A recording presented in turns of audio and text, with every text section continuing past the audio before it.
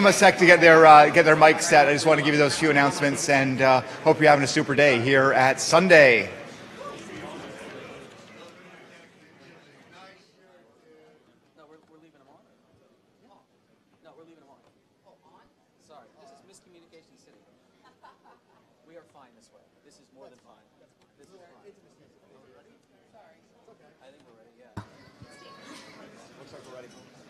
Okay, so so I, I checked. I, I checked, and it's safe to say, do not do this at Hope. do it. You got an elevator at home. Do it at home. That's okay. You got one at work. Don't blame me, but but I'm not going to say don't do it there either. But please don't do it at Hope. At least during the next uh, uh, eight or ten hours we have in the hotel. Um, so we're pretty excited about this. Howard and Deviant are going to talk about elevator hacking for the next two hours.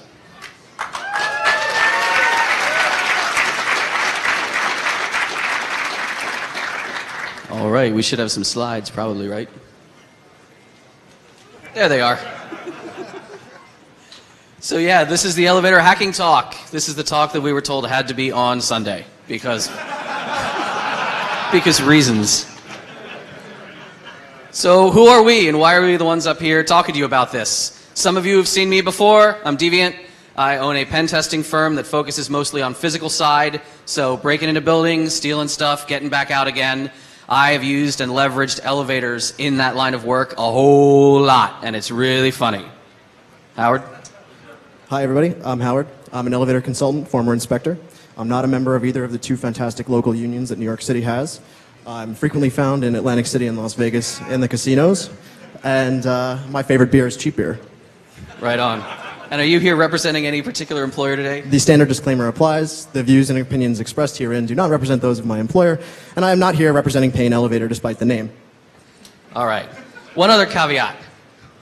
This is serious fucking stuff. So, most of you probably ride elevators every day if you're from New York City, and most of those trips happen without incident. It's very rare for a passenger to be injured by an elevator, but it can happen. Most of the injuries that occur in this field are people like me that are working either on the car top, in the hoistway, or the motor room, or the pit. Yeah. Now, industrial accidents aside, elevators are generally safe, and we don't want to give people the impression that that's not the case. So, with that being said, though, if you're messing with them, there are various failure modes that can result in grievous bodily harm. In this case, you might notice there is a leg in the one inch gap between the car sill and the landing sill. Amazingly, this leg was saved.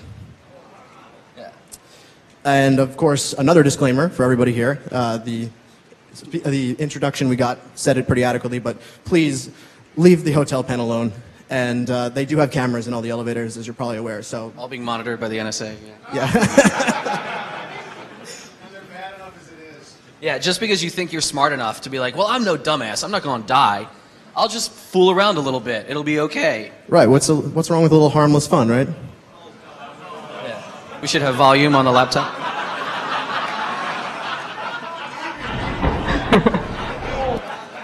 Do we have volume on that laptop soundboard? So, like, that's funny, right? That's, you know, the helicopter trick.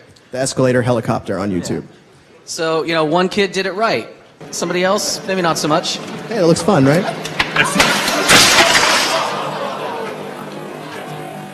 It's all fun and games until you wind up with a felony criminal mischief charge. Caused thousands of dollars in damage. Yeah, so just because you think this is funny and you saw it and you learned a little bit, you're not a fucking professional. We are. Well, he is. I stayed at Holiday Inn Express last night, but he is. A, this is his jam. This is he's trained for this. What you're about to see, some of this is stuff that looks fun, but you really, even if you've heard stories of people doing it, you, you probably shouldn't. Trust us, please. So, a little introduction to elevator tech. Because a lot of you might be kind of the train spotter type who's very interested in how certain systems are and how they work. You might not be aware that elevators, even though we ride them all the time, there's a lot of variety on the back end, but you can fundamentally think of them as coming in two flavors. Elevators are either overhead traction, where they're hoisted by cables, the industry would call them ropes, or they are driven from below by a hydraulic piston. So you have traction elevators and hydro elevators. And there's a lot of breakdown beyond that. There's, you know, geared and gearless, there's pitless, holeless. There's a lot of things in the slides that are in the wiki that are not in our slides. If you really want to get into the, the deep terms, we put it all in there. But just understand that's what you're talking about.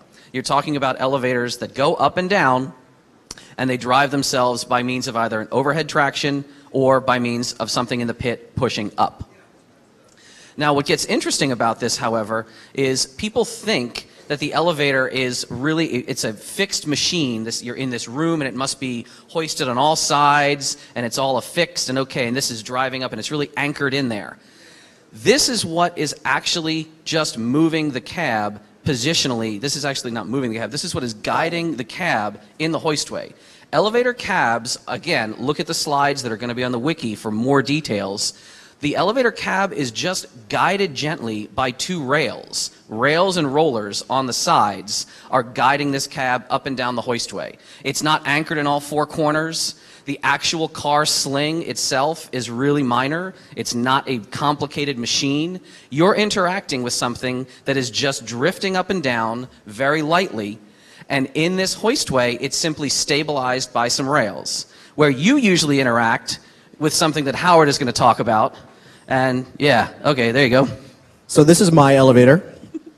And Brought it from home. Yeah. So what you're looking at here are what we'd call fixtures. Um, on the left side of the slide, this is the primary means of a user interacting and giving instructions as far as what destination they want to go to. That's called the car operating panel or sometimes the COP. And when you push that button for floor one, two, or three, you're registering what's called a cab call. That's as opposed to when you're in the hallway, you push up or down, and that's called a hall call. There's also position indicators, both traveling with the car, that tell you what floor you're at, what direction it's going, and in the hallway to let you know, you know, if you're about to get on an elevator that's going in the wrong direction. Please don't do that. So again, when the elevator is driving you up or down based on the instructions you've given it, that's happening from the motor room itself. The elevator machine that you're riding in, the car, doesn't have its own power. That's being provided from the pit or the penthouse. Overhead traction elevators, you've got a nice motor room all the way on the top. It's called the penthouse. Here we have beautiful, you know, gearless traction machines. Who makes these? I believe that was Westinghouse. Yeah, beautiful Westinghouse setup. If you have a hydro system, if you're being driven down from the pit, motor room's not nearly as sexy. Motor room and machine room, interchangeable terms, by the way. Hydro machine room, I mean, you're just, you know, you're looking at a hydro tank and a pump system and a little controller on the wall. Because space is really at a premium in so many buildings nowadays, they have made machine rooms smaller and smaller. They even do make something called like a machine roomless elevator. What is it? Well, it's a hydraulic elevator that has the, the, the pump system in the pit, also known as Why Does My Hoistway Smell Like Burning Hydro Fluid? So, the controller in the motor room is basically the brain of the entire system. All of the fixtures and sensors that are part of the elevator system, and even the motor, of course, are tied back to this controller, which essentially is taking all of these inputs and making decisions and driving these different outputs, like the motor that actually provides the hoisting, the motor for the door that's opening and closing, um, pretty much everything that the elevator is doing. Yeah. This is, this is what is controlling your direction of travel. This is what is choosing how to operate. This is what is deciding whether your call is a valid call or not, or whether you're going to bypass some security or not. And they're not all, I mean, this is kind of a newer setup. They can be pretty old, right? What are these people about to see on the next slide? This, Sure. this is going to trip out some of the old heads in the room. Yeah. Slide. This is a number five crossbar. No, I'm just kidding. This is actually an elevator controller. Uh, this is made by Otis. I believe it's a UAL controller. Uh, basically, what you're looking at is an electromechanical mach- decision-making machine that's just using a series of relays to decide where it wants to go and what it wants to do. And for decades, this is how all elevators are built. This is a device called the selector. What you're actually seeing is that as the elevator is moving up and down, it's actually spinning those plates and it's making contact with various little copper contacts that are telling the elevator controller where the elevator is. Yeah, and this is not just something in a history museum. Like, there are still installs to this day that use relay logic. This particular controller was still in use in 2014 In where? Manhattan? in Manhattan. Yeah. If you've ever, like, maybe done some urban exploring, how many of you have ever been up on a maybe a high level of a building and you've loudly heard, maybe through a wall, relays clacking on and off? That you're not hearing a traffic light box up there. You're you're hearing the elevator controller in that building. Now, some other interesting inputs that the controller gets. So earlier you saw a selector that was spinning around mechanically and making contact. There are obviously solid state versions of that as well. In this case, what you're seeing is there is a little silver doodad that's mounted on top of the car, and it is fixed there and it travels up and down as the car travels up and down. Now there's also that black tape that's behind it. That runs from the top of the hoistway to the bottom of the hoistway. And on that tape, there will be magnets mounted. So there will be a solid state magnetic sensor that's actually detecting when it's in line with those magnets. That allows it to send a message to the elevator controller saying, I'm level with the floor, or I'm approaching the floor, things of that nature. Mm-hmm. So if it ain't broke, fix it. What, what is the industry considering? Of course, now there are apparently QR code based selector systems. Yeah. Because a hoistway is so nice and clean that would never get crudded up. Exactly. Yeah. So there are also more primitive forms of this that still exist on modern systems. What you're looking at here are called limit switches. These generally exist only at the top and the bottom of the hoistway in modern elevators. And if you notice that there are actually four of them, the bottom two are called slowdowns. The third one up is the normal limit, and the top one is the final limit. What happens is, as this elevator is approaching the top floor, it will trip the first slowdown, it'll trip the second slowdown, and then it'll trip the normal limit. Obviously, as you might guess, that's telling the elevator controller, hey, it's time to slow down, you're approaching the end of your run. And finally, when you hit the normal limit, that's where you should stop for a nice, safe, level landing. So you might be wondering, well, why is there a final limit? Well, If you shoot past that normal limit because something goes wrong, right. elevator's unhappy. Exactly. So that's a, it, as the name implies again, it's the final switch that is there to indicate there is absolutely nowhere else for this elevator to run. Yeah, you're going to crash in the ceiling. Jam on brakes now. So another thing to keep in mind also is that if you, if you ever happen to find out this happens in your building, if the elevator is on the finals, you pretty much need an elevator mechanic to come reset it. Yeah, we witnessed one in a mall somewhere, and like even I hadn't fully learned all this yet. We're walking around, and Howard's like, "Oh, what what did it, what do you think happened here?" And he's like on his radio listening to the mall security. Like broken elevator. I'm like, "Wow, that thing it's not platformed right. It's like it's way too high." He's like, "Yeah, it's sitting on its finals. They have to send out a, a proper tech. You'll see later in the slides who they sent out. It was not a proper tech." But this is all part of the elevator safety system. I mean, in general, we love allaying fears. A lot of people, you know, just they, there's this, oh man, I don't know about elevators. Are they kind of dodgy? I'm scared. You should never really be afraid in an elevator. I mean, I guess if you're super claustrophobic, yes, it's a small box. But mechanically, elevators are really safe machines. Due mostly to pioneering advances here in America. Go, you know, America our engineers and all of our systems, we've, we've evolved the elevator industry a lot, and safety mechanisms work really robustly and reliably. Your classic governor setup, you have a Hollister Whitney governor here on the left. The idea of a separate set of ropes that are traveling with the car at all times, just monitoring the speed, monitoring how it's going, and they will engage braking systems if the elevator is traveling incorrectly. The Hollister Whitney governor that you're seeing there can fire and trip and actually jam itself locked if the elevator starts speeding down. It can trip electrically. It even has a mechanical flyball type system where the centrifugal force, boom, it'll jam mechanically. What do those roping systems do? You'll see in the next slide. Now, there's another governor you can talk about, also HW on the side, right? Yeah, the device on the right is a newer form of safety. The governor prevents a free fall. Most people have a fear that the elevator is just going to drop, right? But actually, the fear should be that the elevator falls up. Because what's happening is typically the counterweight that the elevator is attached to weighs more than the cab and its occupants. So if for some reason all hell broke loose and the elevator was moving uncontrollably, chances are it was going to move up, not down. And actually, there was a case in Chile, I think it was. Yeah, yeah. There was like a viral saw video on YouTube? The elevator just rushes up out of control and it crashes into the overhead. Uh, that's exactly what happened. So the device on the right is called a rope gripper, and it's intended to prevent that. Yeah. So elevator safety systems have been growing and evolving ever since Elisha Graves Otis created the first rail gripper mechanism. And you're seeing this demonstrated here in this non-American, very British TV show, which you can tell not just because of the gentleman's teeth, but because of the fact that he is being raised up a not insubstantial amount on this elevator, and then they just kind of saunter over a workman to chop the line. But because of the positive force on the rail gripper, you're going to see the same demo that Elisha Otis used to do at various fairs. And they say, all right, I, this is going to work the right way, isn't it? Okay, I hope so. But sure enough, clunk, click. And then you just don't fall. And that's what Elisha Graves Otis would do, and he would famously shout down to the crowd, all safe, fellas, you know. And this kind of idea, the idea of positive lock mechanisms, interlocks to prevent free fall, are how most elevators are built. We talked about the governor roping system. This is a side view of a hoistway. You can see the rail and the roller on the side. This roping setup, that's the governor rope. And again, we already told you they're not ropes. They're not, they're not running on like hemp fiber. These are, these are cables. They used to. They used to, yeah. Hemp is strong, man. You've had the wool pulled over your eyes. So, yeah, this is the governor roping setup. And imagine that's traveling with the car. You can see the little swaging tool that's locked up there. Now, if the governor trips and jams shut, that rope will yank and actually pull on the safety mechanism.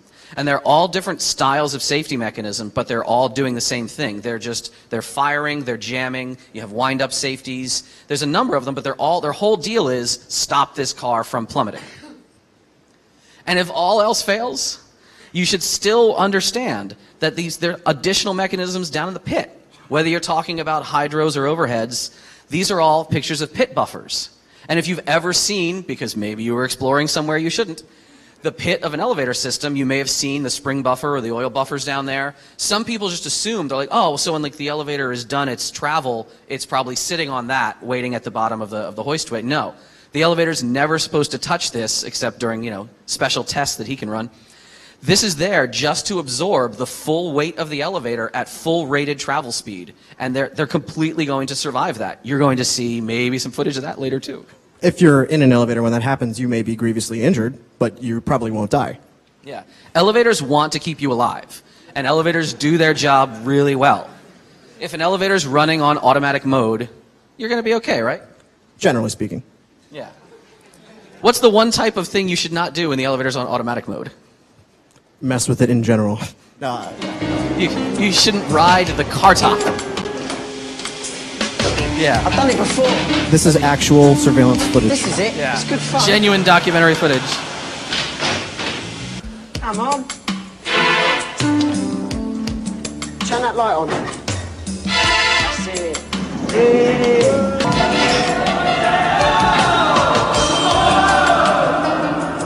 Oh, this is brilliant. I can't believe it. Again, they're, they're not in control of this elevator. They're just riding it, but someone else is driving it on automatic.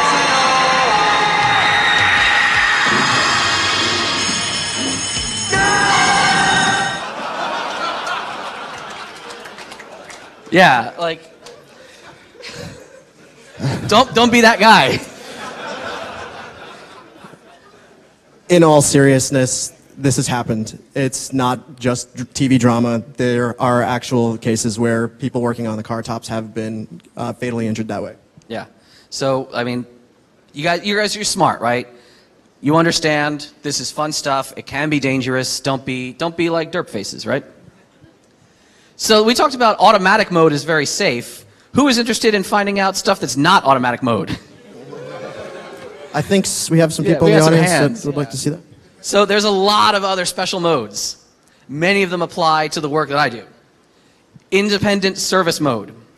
Far and away one of the most useful things you can do with an elevator if you want to run it in a way that's not perhaps the standard. Independent service mode is something that will take the elevator out of the bank of normal operation. It is your elevator for as long as you're in the cab. If I flip an elevator to independent service mode, and let's say I'm in a data center and I can't get up to like floors 8, 9, and 10 because I don't have a badge or whatever reason, independent service mode gets me up to that floor usually. Usually. Yes. Let's say, however, that I'm not trying to get to any, like all the floors are accessible, I just don't want to be found by security. So as Babak and I can tell you stories, there's been plenty of times we've just like hid in disused offices. I've hid in a janitor's closet. The nicest place I've ever hid was in a fucking elevator.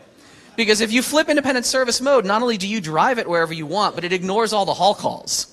So if you're in a big building with like 10 elevators, no one's going to notice, hey, how come elevator 7 hasn't been responding all day? No, they're just getting on whatever one shows up. I sat in an elevator for four hours with a nice little outlet and light, and I could plug my phone in and just hang out till the office workday was done. Then I drove it back down to the lobby and let him in. Yeah, like.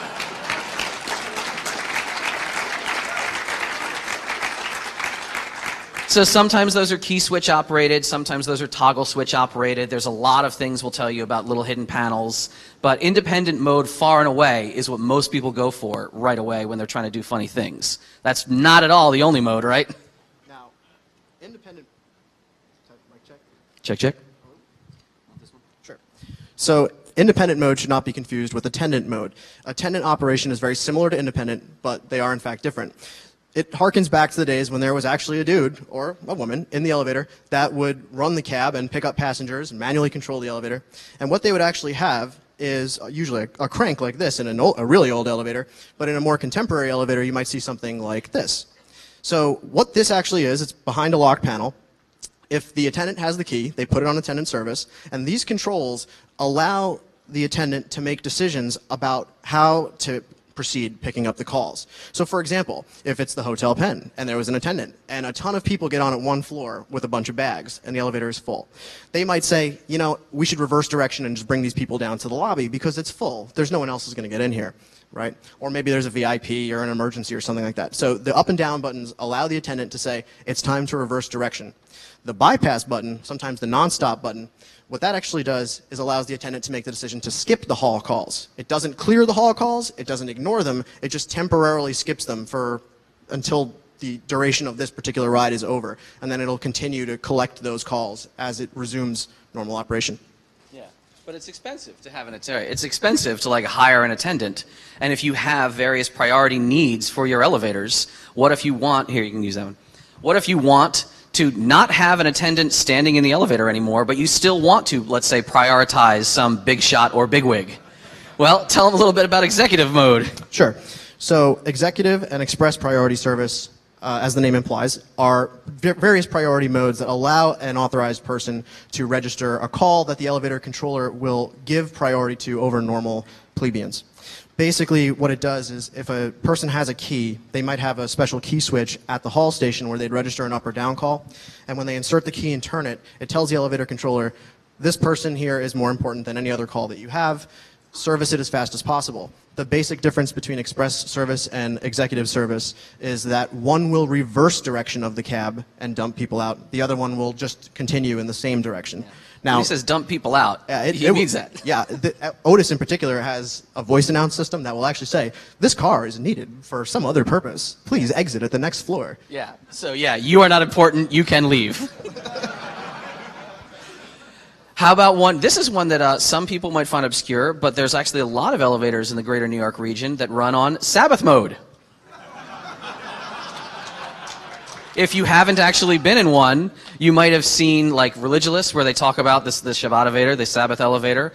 If you're not familiar with certain Orthodox religious practices where people aren't allowed to interact with any buttons or switches, this is a mode that was created, kind of just made up by elevator controllers and elevator programmers. And they said, well, maybe we can give some people the ability to not, you know, walk all the way up the stairs. Tell them what actually happens on the Sabbath in some of these elevators. In most cases, the elevator will go to the lowest landing, pick up its passengers, presumably it's the lobby. It will then proceed to the top floor All the way up. and then stop at every single floor on the way down without any interaction from the user. Yeah, giving you the opportunity to get off on your floor. And in a really high building, sometimes they'll skip, you know, every other floor. But that's the idea. That's the idea that, oh my gosh, I don't have to push any buttons. I can still get where I'm going. It's a, it's an interesting kind of end run around the, the man upstairs. Let's talk about a feature that is not also very common, but damn it should be, and you would be wishing for it maybe if you were at a conference like this one.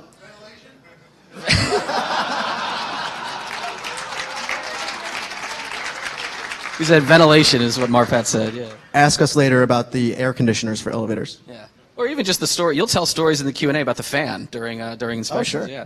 But no, what we're talking about is load bypass. Oh my freaking god. Elevators have load sensors. If you've ever been in an elevator that was like angry, it was beeping at you, oh my god, this car is overweight. How many people have ever had that happen? Because you're all fat hackers like me, right? Yeah. No, I mean, elevators, they know how, if they're too heavy, they can program additional features in so the elevator can say, hmm, I've picked up a few, you know, hall calls here, I've, I've platformed, I am at capacity. It is stupid if I keep stopping on every floor on the way down, opening my doors with people just staring at a full car, and it'll just prioritize straight down. Why the hell this is not enabled more often boggles my mind. If you're a building owner, hire an elevator service tech who can optimize your shit, and this will get people moving around the building faster. I think it comes down to money.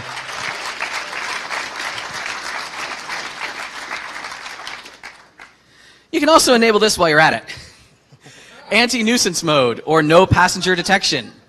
If somebody presses too many buttons in rapid succession, or if an elevator platforms at a number of floors answering calls that have been put in, and the safety edge detects nobody getting on or off, elevators can be programmed to say, well, somebody was being a jackwagon, and I should just dump all these calls and, st- and like get the hell where I was going. We accidentally That's found all right, this hit another in, uh, I guess this was calls. at ShakaCon. Now keep going. We were kind of drunk. All right, that awesome. And we go, oh wow, look at that. Boom, That's kind of funny. And we just kept slamming buttons, seeing how many we could press. And you'll notice if you press buttons So too down. quickly, One, two, they'll start to three, and decide just out. to dump out all the calls. That's anti-nuisance It's like they know we're here. But most of all, I mean, most optimization or extra, you know, efficiency, it mostly all you're seeing is people talking about peak performance. Occasionally, especially in office buildings and hotels, you'll have peak demand, and they know what times of day people are trying to get up or trying to get down. Right. So at a hotel environment, obviously more people are going to be checking in in the evening and checking out in the morning. And in an office environment, they'll be arriving in the morning and leaving in the evening. So, in terms of optimization, if you were to hire somebody like me to come and try and optimize your elevators, what we would generally do is model your building in highly sophisticated software.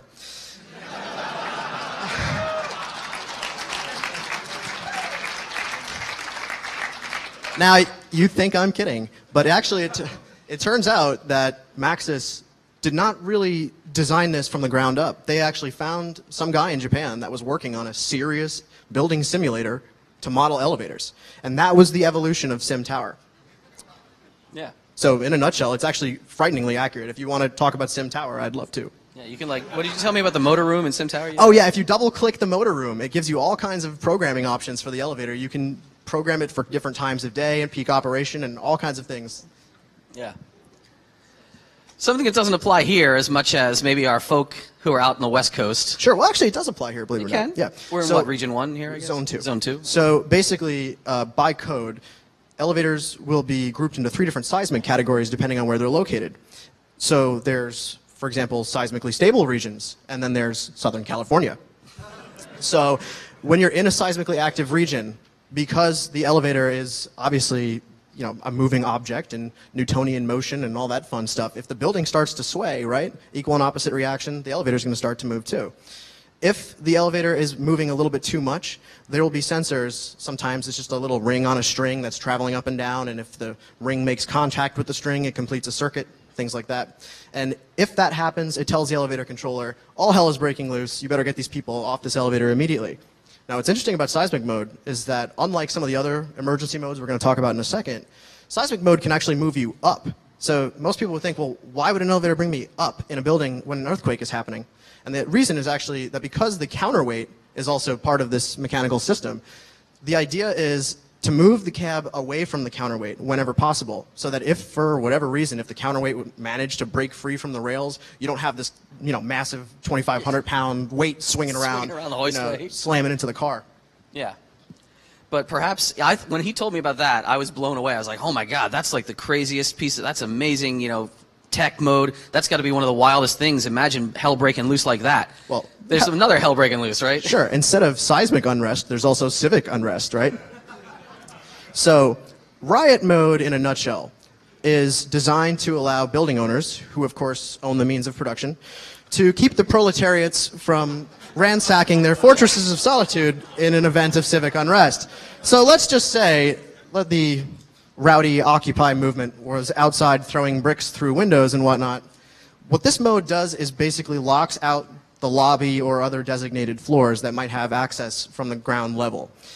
The idea being that the occupants of the building can actually still travel around inside the building undisturbed. Yeah, just like swirling their brandy, being nose in the air, be like, "I heard the ruffians are very uh, Twitter out there." Hmm.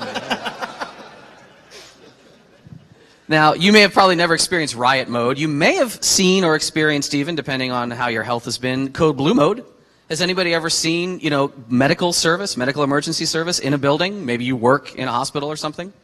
Medical emergency or code blue mode, it's very similar to that VIP priority service. The idea being, if you are a doctor or someone in care with someone who has a life threatening condition, you can seize one elevator out of the bank. The controller will prioritize immediately, even more so than with a VIP. It'll prioritize the absolute closest car, flip direction if necessary, make that announcement that says, this car is needed, you're not important, please get out. And then a doctor will wheel that gurney in and, you know, get someone up to obstetrics or get someone to the ICU or what have you. Another thing about hospitals and other medical modes, there's code blue, there's also code pink. Does anybody not that code pink? Does anybody want to guess? Is my uh, color shifted way off? I don't know. That should be very pink. Somebody- Someone, somebody somebody already it. guessed it, yes. No, code pink is baby theft mode. If you're not familiar with the security related to maternity wards in hospitals, the security of actually like the little baby LoJack, you know, they have all these interesting response procedures that happen in a building when a baby is moved in an unauthorized way. And some of those involve automatic door locks, some of those emergency alerts that go out over the PA. The elevators in a lot of big hospitals are part of the security operation. The elevators will behave in what is known as security recall mode. Security recall mode, which doesn't exclusively exist in hospitals, you can have big buildings that can manually trigger it if necessary. Security recall basically turns the elevator into a man trap. You can forcibly take control away from whoever's in the cab and deliver that passenger and any other occupants to a floor of your designation, the, secu- the designated security recall floor, usually right by the desk, and then optionally either keep the doors shut and not let the person get out under any means, or forcibly cycle the doors, giving them no place to hide themselves while a bunch of people are standing there with guns saying, Get out of my building, what are you doing here? So that's security recall mode. Not to be confused with security service, which is a catch all term. A lot of times you'll see key switches that don't seem to make a lot of, oh, what is this? Security, priority, whatever. Like this one, I was walking around a hotel and I said, okay, well, what do you see about these three key switches? We've got our light and fan, our inspection service, and we've got security service. And I showed this to some TOOOL people last night, and one of them said, well, one of them is, uh, one of them is keyed very differently, right? The keyway is different. And I said, you'd think it's different. It's actually all the same keyway. One of them has just been beat to hell. So I walk by the front desk and I'm like, hey, you know, you seem pretty cool. I've been rapping with you every time I walk by. You're a nice guy. Just tell me, like, uh, I do a lot of work with elevators. What's up with the security service that you apparently are using 20 times a day? Like, are you having security incidents all the time? And he's like, no, the maids use that to go to the basement. Like, you know, we just turn that on and disable the lockouts. So just because you think you see something you understand, it might not be doing what you expect it to do. And what a lot of people don't know what they expect it to do is the big one fire service. So, in the lobby of pretty much every building built uh, in the 1980s and later, you're going to see a key switch just like this at the lobby or some other designated landing. In super tall buildings, they'll have sky lobbies that'll have their own switches in those lobbies. And what this, what this basically is, it allows a firefighter to manually put an elevator on fire recall mode. So, you've probably seen signs near the elevator that say, do not use elevator in the event of a fire, use the stairs, right? And no unaccompanied children, something like that here. Yeah, apparently that's the rule here So- with your elevators. The point being, though, that elevators do have ways of detecting when the building's on fire, sort of. The landings, the area immediately around where the elevators open up, will have a smoke and a heat detector usually. That will be tied back through the alarm system into the elevator, usually by use of dry contacts. What will happen is, if there's a fire or smoke condition that's in front of one of these landings, the elevator controller knows that there's an emergency, and it takes the elevators out of automatic operation and brings them down to that designated landing where those key switches are. The point being that passengers should not be allowed to operate the elevator when a fire is happening. There's tons of cases of this where somebody ends up in an elevator during a fire situation and the doors open to a floor that's on fire, and it's obviously not a pleasant end. So That's fire service mode one. what fire yeah phase one is Yeah. what we'd call it so the thing is if the fire is not at the landing the elevator might not be in phase one by the time the firefighters get there so they have a key sw- the key that they can insert into that key switch and turn it to on when they turn it to on it'll manually bring all of the elevators It down forces to that phase one. right it, Yeah. exactly it'll bring all the elevators in that bank down to the floor lock them out clear all the hall calls passengers can't ride it passengers can't call it et cetera et cetera The difference between these two key switches is that one is at the landing, that's the one on the left, and one is in the cab, that's the one on the right. The one on the right is what's called phase two operation. This allows the firefighter to then go inside the cab, flip that key switch, and although the elevator thinks the building's on fire, it'll still run and allow the firefighter to do what they it's need saying to do. It's saying someone authorized is in this one particular cab who knows what they're doing, surely is a firefighter, not, not at all a pen tester. And I should take all the calls this person is giving me, and I should take all the instruction that I should be that I should be told to do. Now, if you are not trained in fire service mode, the elevator is not behaving the way you think it will behave. You will possibly get yourself stuck in the elevator. You'll possibly not drive it the way you think you can. Please don't screw around with this, even though we've done it a lot. So, as far as the operation of fire mode, phase two versus automatic operation, one thing to keep in mind is that because it's a, an emergency, an urgent emergency situation, usually when there's a fire, firefighters essentially are allowed to override all the security that's inside these systems. And we're going to talk about that a little bit more later. But you might be thinking, okay, so you're It's disabling the all these priority, systems. yeah. What could possibly ever override fire service? Who could be more important in the elevator world than a fire person? elevator Us. inspector. So it's not like some sinister thing where we just are all egomaniacs. But the idea is actually, yeah, it is. The idea is that if there is somebody that's on the car top, hopefully they are properly trained. And if there was an emergency situation, when they find that out, they will want to be the first ones out, I assure you. So the idea being that generally they're trained, they know how to react to the situation, and they will want to get the hell out of there.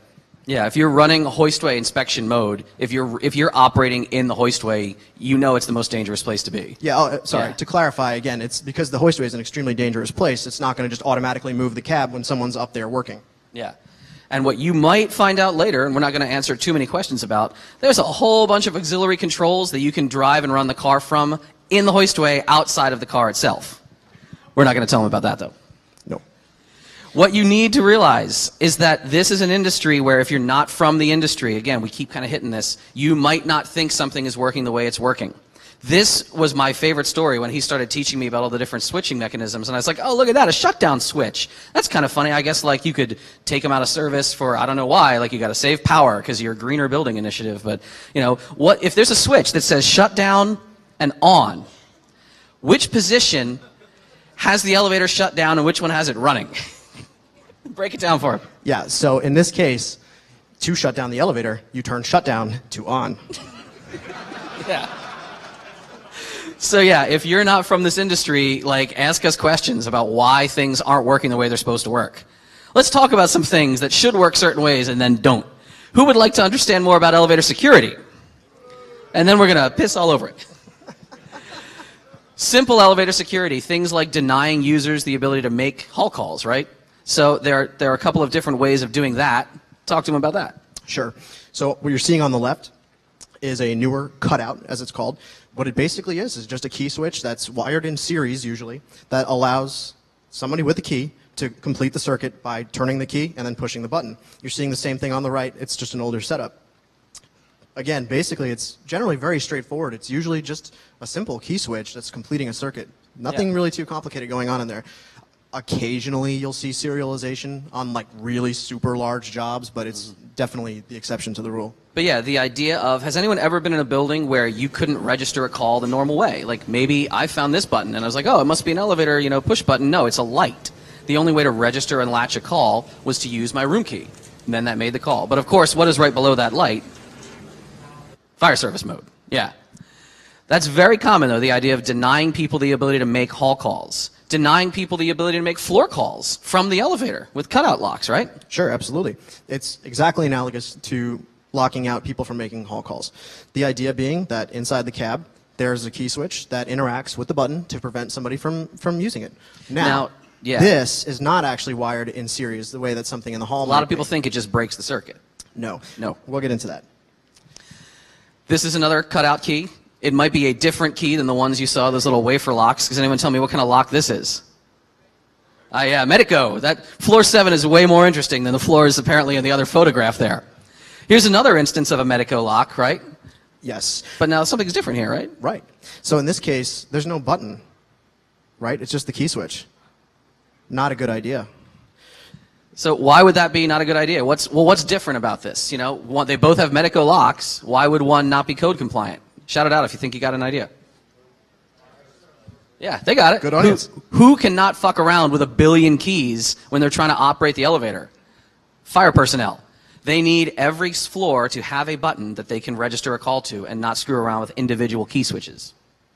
So, Yeah, so all of this that you're about to see, these are all different ways that people try to secure an elevator. It's not really going to work. We're about to break it all down for you.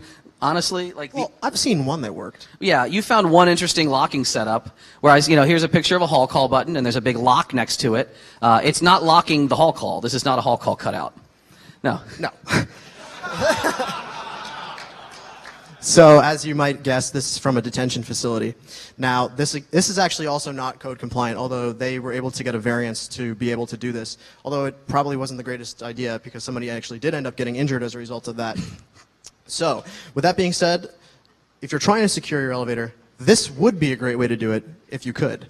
But I'm just going to go ahead and recommend vestibules and other Yeah. forms of control around the elevator because, as you're going to see from the next couple slides, there are a lot of different means. Yeah, if you're not physically securing the elevator area, you might as well think of your elevator as an open stairwell. Everything that you just saw, all of those different security practices, let's take a giant dump on them. How about that? So, how about when there were no hall call buttons? How are you going to get the elevator to show up? Oh no, I have no hall call buttons, but I do have a piece of paper. Click. Ah. Wha- What just happened there? Let's let's just try that again for a second. Oh, there's no hall call buttons. Click. I'm gonna get to class on time. Ah. You could probably figure out what happened. The the elevator was platformed at that that lower level. That was its recall level. So somebody just tripped the safety edge. They just stuck something in that broke the IR beam, and the elevator said, "Oh, I got to bounce my my doors open here. Somebody's trying to get in." that is not a universal trick. It just happened to work on that one elevator. But Yeah. something to keep in mind. A lot of these tricks are like that. No, it's totally smart to stick things through hoistway doors when you don't know what's beyond there, right? It's He totally said safe. it, not me. What really, what most of what we're about to show you, though, I mean, that's that's just fun and hokey, but key switches, key switches, key switches, key switches. Understanding the mechanical switching systems and understanding how to exploit them, how to get the right keys. This is what most of us do on a daily basis when we're trying to exploit elevator security. So on ver- like there's a lot of different key switches, and there's a lot of different fixtures and brands that Howard's going to tell you about. And on jobs, an elevator tech will usually, you know, all right, I've got to open this key box and get the keys for that job. Or you go to the building manager and say, oh, we're here to do your inspection. All right, give me the keys. In the industry, very few people really collect these keys or monitor these keys. They say, oh, this was the key for this job, and then they hand it back. Now, if you've explored around, you might find like keys laying around and be like, oh, I gotta check, I'm gonna write this down or I'm gonna use this key. That's something that like urban explorers might do.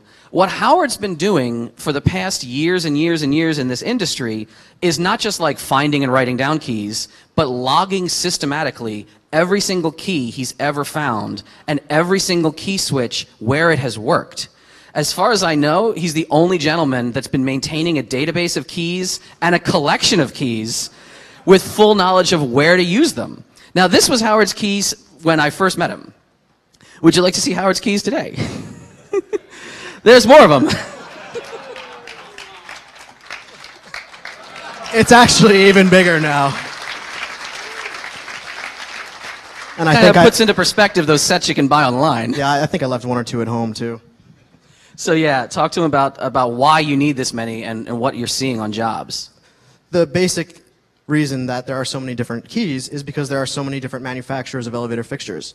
I'm not going to get into all the details of this because I don't want to waste too much time on the differences between the fixtures, but mm-hmm. what it really boils down to is that if you are attentive to what you're actually seeing, you'll start to notice patterns. So, if actually, if you could go back one, this is something you can recognize very easily usually. This is the Otis chiclet, or the Series 1 fixtures. We call them chiclets because they look like little square chiclets, and they're very recognizable in that way.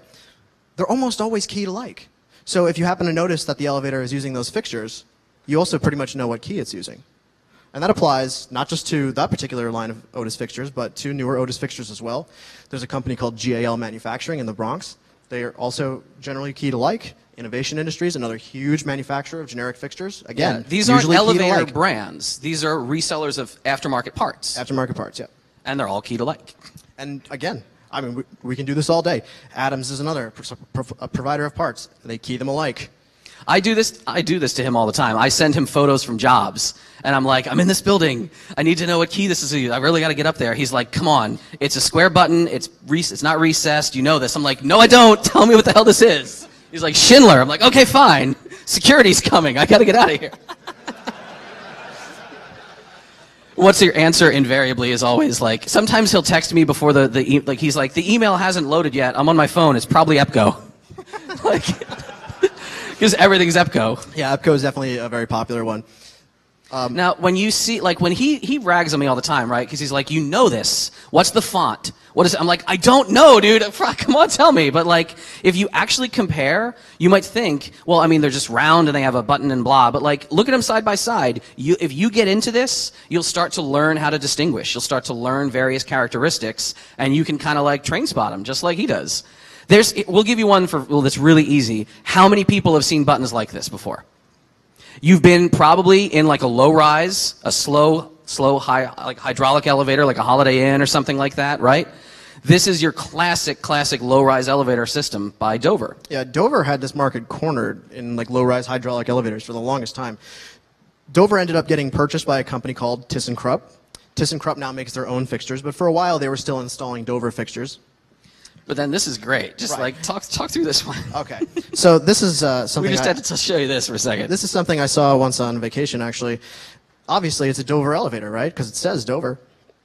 And just take my word for it, that's a Dover position indicator. It's just another one of the many fixtures that if you start to recognize them after a while, you'll know who made it and where it originated and, again, how it's wired and all the fun stuff about how it works.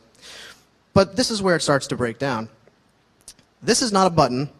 This is the firefighter's jewel. This indicates to a firefighter when the building is on fire and it's on the elevator's on phase one Not and the stock one though. But it's weird because it certainly looks like a button from a distance. And if I had to guess, if you were paying attention to the other slide, it looks like an Adams Survivor Plus fixture. It, it's just weird. It doesn't really seem to jive with the rest of the panel. And this is also pretty weird. This is actually a ThyssenKrupp key switch on a Dover, uh, again, on a Dover panel, but it's a Dover compatible ThyssenKrupp key switch. Stop me if this is getting weird. But they're making parts that obviously fit the systems that they used to make. It's just a, a newer model of it.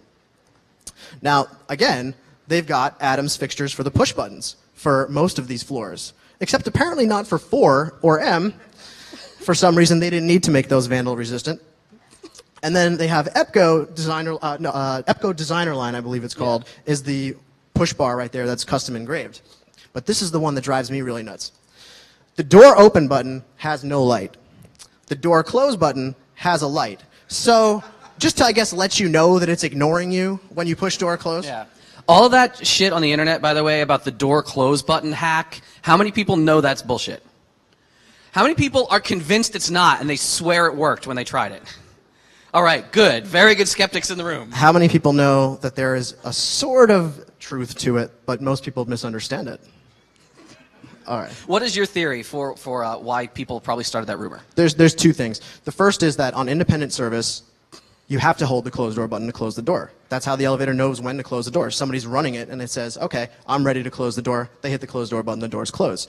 So I think somebody somewhere probably saw somebody running a car on independent and they Maybe said, nonstop or something. yeah. And basically they said, well, he hit door close and the floor we were going to, and it went right there, which is pretty much independent service in a nutshell. Right. No, but you weren't witnessing a hack. You were witnessing someone who had a key. But there, there's also though another thing. The sort of half truth to the elevator hack with the door close button is that on older relay logic controllers, because there was such a limited amount of different states that the elevator could really exist in logically, there could be weird sort of unexpected consequences of doing things like holding the door close button for the duration of your ride.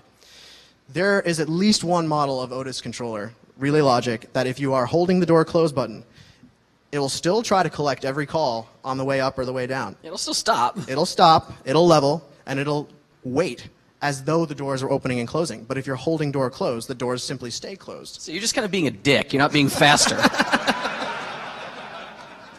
but this is the kind of stuff if you get into, you know, fixtures and identifying, you'll notice. Like, how many people ever used to build computers and swap out parts? And you could spot, be like, oh, when did you put a new uh, CD drive in your computer? The beige isn't quite the same color, you know? These, these two hall call buttons, most people wouldn't even notice, except an elevator guy instantly walks by and goes, oh, wow, uh, they, they clearly swapped out this one. I'm super OCD, and this drove me nuts when I saw it. The one on the bottom is Helvetica. The one on top is a font called Gorton. It's there's a whole history to Yeah, it. But talk the, to this guy and buy him drinks. He'll, he'll the- talk about this all night. the point being, though, actually, what happened here is this was in an office building where there happened to be more down demand from this floor than up demand. So at some point, the arrow broke. The one on top, I can just tell is the original one. Somebody broke it eventually, and the mechanic that came out was like, "Well, I need another push button, right?" So they probably called up EPCO and they said, "Hey, I need a down button," and they're like, "Well, which kind?" And people in the industry aren't all like him. They don't care. And he was probably like, "Well, well, down." So you get EPCO. But let's talk about something you should care about, and the industry should really care about more. And we're really shocked at how many people in this industry, or pseudo in this industry, are selling keys, and they're like bullshit sets of keys. Sure. So, like I was saying, a lot of elevators are key to like, and there are some vendors that have taken advantage of this to various ends. It's primarily marketed towards firefighters and fire departments who have a need to have the keys on hand. So sometimes, even though there should be a Knox box or a key box somewhere in the building, and- or a building manager should have the keys, sometimes that's not always the case. And in an emergency, there's no time to waste. The firefighters want their own sets of keys, right? Yeah. So this set's popular. This is a $70 set. Get you eight keys. Those doing the math, that's like a little under nine bucks a key. Does it come free with the smoke, though, right? Yeah. The smoke is included in the package. Yeah. It ships to UPS ground.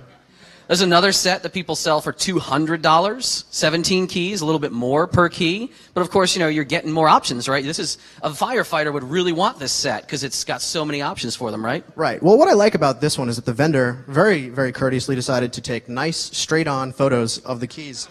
Yeah. So if you were in Jos Weyers' talk, exactly. And Howard was able to look at those and instantly identify most of them, and he realizes what a useful set this is. This set is probably one of the best values in the industry for fire departments, as long as your particular fire department serves a geographic area including Massachusetts, New Jersey, New Hampshire, New York, South Carolina, and Arizona. Yeah, so if that's where your truck is rolling through the streets all the time, all together somehow, I guess this is the set for you. Go ahead and drop the two hundo. So realistically, what probably happened was somebody just kept handing the vendor keys and saying, you know, I've seen this work for fire service on an elevator. And then they say, well, Yeah, add it to the ring.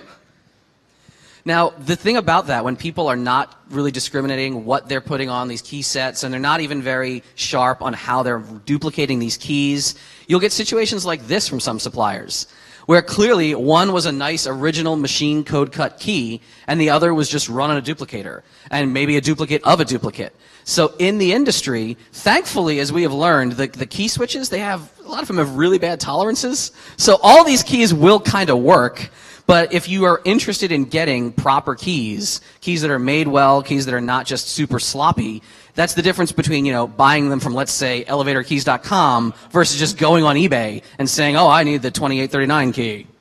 Yeah, and I can actually just tell you, definitely don't bother trying to order from that website. They will ID you and put you through endless verification processes. Yeah. But we'll talk about something now that some people might say, well, I've seen these systems where, forget key switches, they're not even buttons. I've just, I, I've seen destination dispatch, it's called. How many have ever ridden an elevator like this? All right, all right, so there's some around here. New modern idea. The idea being for super efficiency, you shouldn't tell passengers to select their floors, you should tell them to to dictate, I want to go to 17, and it will tell you, oh, go to, go to elevator A, go to elevator E. And the elevators will optimize those calls and collect them up. Well, in a destination dispatch system, if there's no control in the elevator, how does any of this work? What does every elevator have to have in its configuration package for emergencies? Fire mode. What's a fire person going to do? They're not going to bang on like a touch screen with giant gloves. No, there's almost always a hidden panel that you can key open with the fire keys in a destination dispatch elevator, and it will have the full bank of buttons. And as you learned, you don't even have to be on fire mode. Those are regular hall call buttons at that point. Yeah, this was a kind of weird situation. When the panel was opened, it was demonstrated to me that even though the elevator was not actually on firefighter's operation, pushing that button once you had the lock panel open allowed it to sort of mm. operate like a a traditional automatic elevator. But this, this is a very modern, futuristic kind of system, right? Let's forget about the future for a minute. This is still an industry really stuck in the past in a lot of ways. So when we meet with people, right, and you you know a lot about physical security from me, and I've learned elevators from you. Tell you know what did someone tell you when you were looking at the new the new key switch they were equipping? Yeah, this is actually from a casino, and we had the pleasure of interfacing with the building's architect, who had a, an incredible amount of personal involvement with selecting elevator components, and this topic of security obviously came up because it's a casino, and I remember very distinctly when he was describing to me how he picked the lock cylinders, and his exact words were, "No one could ever subvert our security." Because we use unpickable tubular locks. Yeah. So yeah, I mean, they think tubulars are the latest and greatest thing that ever came out. Somebody somewhere pushes medic, you know, pushes Medeco keys in some instances. I got a big collection of them through him. I laid them all out and I said, well, that looks kind of funny. Baba, give me your screwdriver for a second. And I tightened it up on the screwdriver and I said, oh, well, okay. First of all, what you got here is keys that are the same bidding and same cut for half the damn blade of the key. And the rest are all just part of a mastered system. What did you learn from Yost yesterday, and what did you learn from us if you ever talk about master keying? You can decode the top master key with a large enough sample data set. Not going to say we did, but, you know, lol, we did. I got this photo from him from a restaurant one day. He's like, check it out. I'm like, wow, okay, you're on like a Dover job, right? Looks like a Dover impulse key. He's like, it is, but you won't believe where it is. So there's just a lot of key reuse. There's like people think these are unique keys and they're getting them from a supplier, from a supplier, from a supplier. Your keys are not, yeah, vote, Mouse is saying voting machines have this same situation. Somebody who's not building the lock, they're just ordering a part, is probably ordering a part that is not as unique as they think. Ask him downstairs or during the Q&A what NEMA 7, you know, super destructo resistant, you know, fixtures, Explosion-proof explosion-proof fixtures. fixtures have to do with gumball machines and he'll tell you a story. Here's another one, just kind of the thinking, the behind the times thinking of the industry. This is the official instruction set from MCE, one of the elevator providers that does some Internet of Things, remote connectivity. And they spe- very specifically say, create an edge, you know, account and your, you know, punch a hole in your firewall called MCE support. Make sure the password is MCE support. In fact, go ahead and take your admin password, change that to MCE support. Just make it all MCE support so that we can always get in. So you have, this is the latest generation of product, by the way, from MCE, the IQ and the iView systems.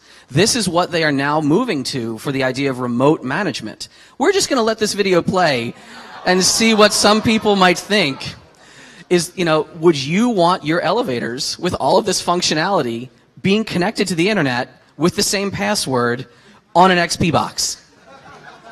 Can they put the badging system on there too to make my life easier? Yeah, Josh wants the badges on the same system. I, you know, we could probably, they probably make an ab- a module for that. Yeah. Like, The good news is, although this was installed in 2014, I believe they paid for the extended XP support. Yeah. How many people were at the social engineering talk? Very, very groovy. How many people are going to laugh at this? As your building's requirements change, you can customize your elevator's operation to fit your specific needs with a simple telephone call to our elite engineers. Elite. I to reserve one of our elevators. It won't be a problem. I'm going to take elevator number two from the bank and I'll reserve it for your move. You can restrict service to a floor under renovation in a That's right. hotel. I've got it Or place a car on independent service to use it for moving welcome. furniture Glad to be of or for the exclusive use of a VIP. It can all be done with a single phone call. Indeed. Yeah. So you can call up and say, "Oh yeah, I need this. I need elevator 10 to be on independent service." And there's supposedly, you know, a little owner card that has your credentials on it, which nobody could ever possibly bluff their way through and say, "Oh no, I don't have the card in front of me, but the uh, VIP's coming right away. You got to do this for me, man." Yeah, I'm paying for elite service. It's the OnStar of elevators, basically. Like, how about this one? This is great. The FEOK1 is the most prevalent. We would say most prevalent, right? Fire key. Yeah, but uh, actually, let me, let me take this slide Yeah. if you don't mind. So in 2007, the elevator safety code was revised to include a standardized fire service key.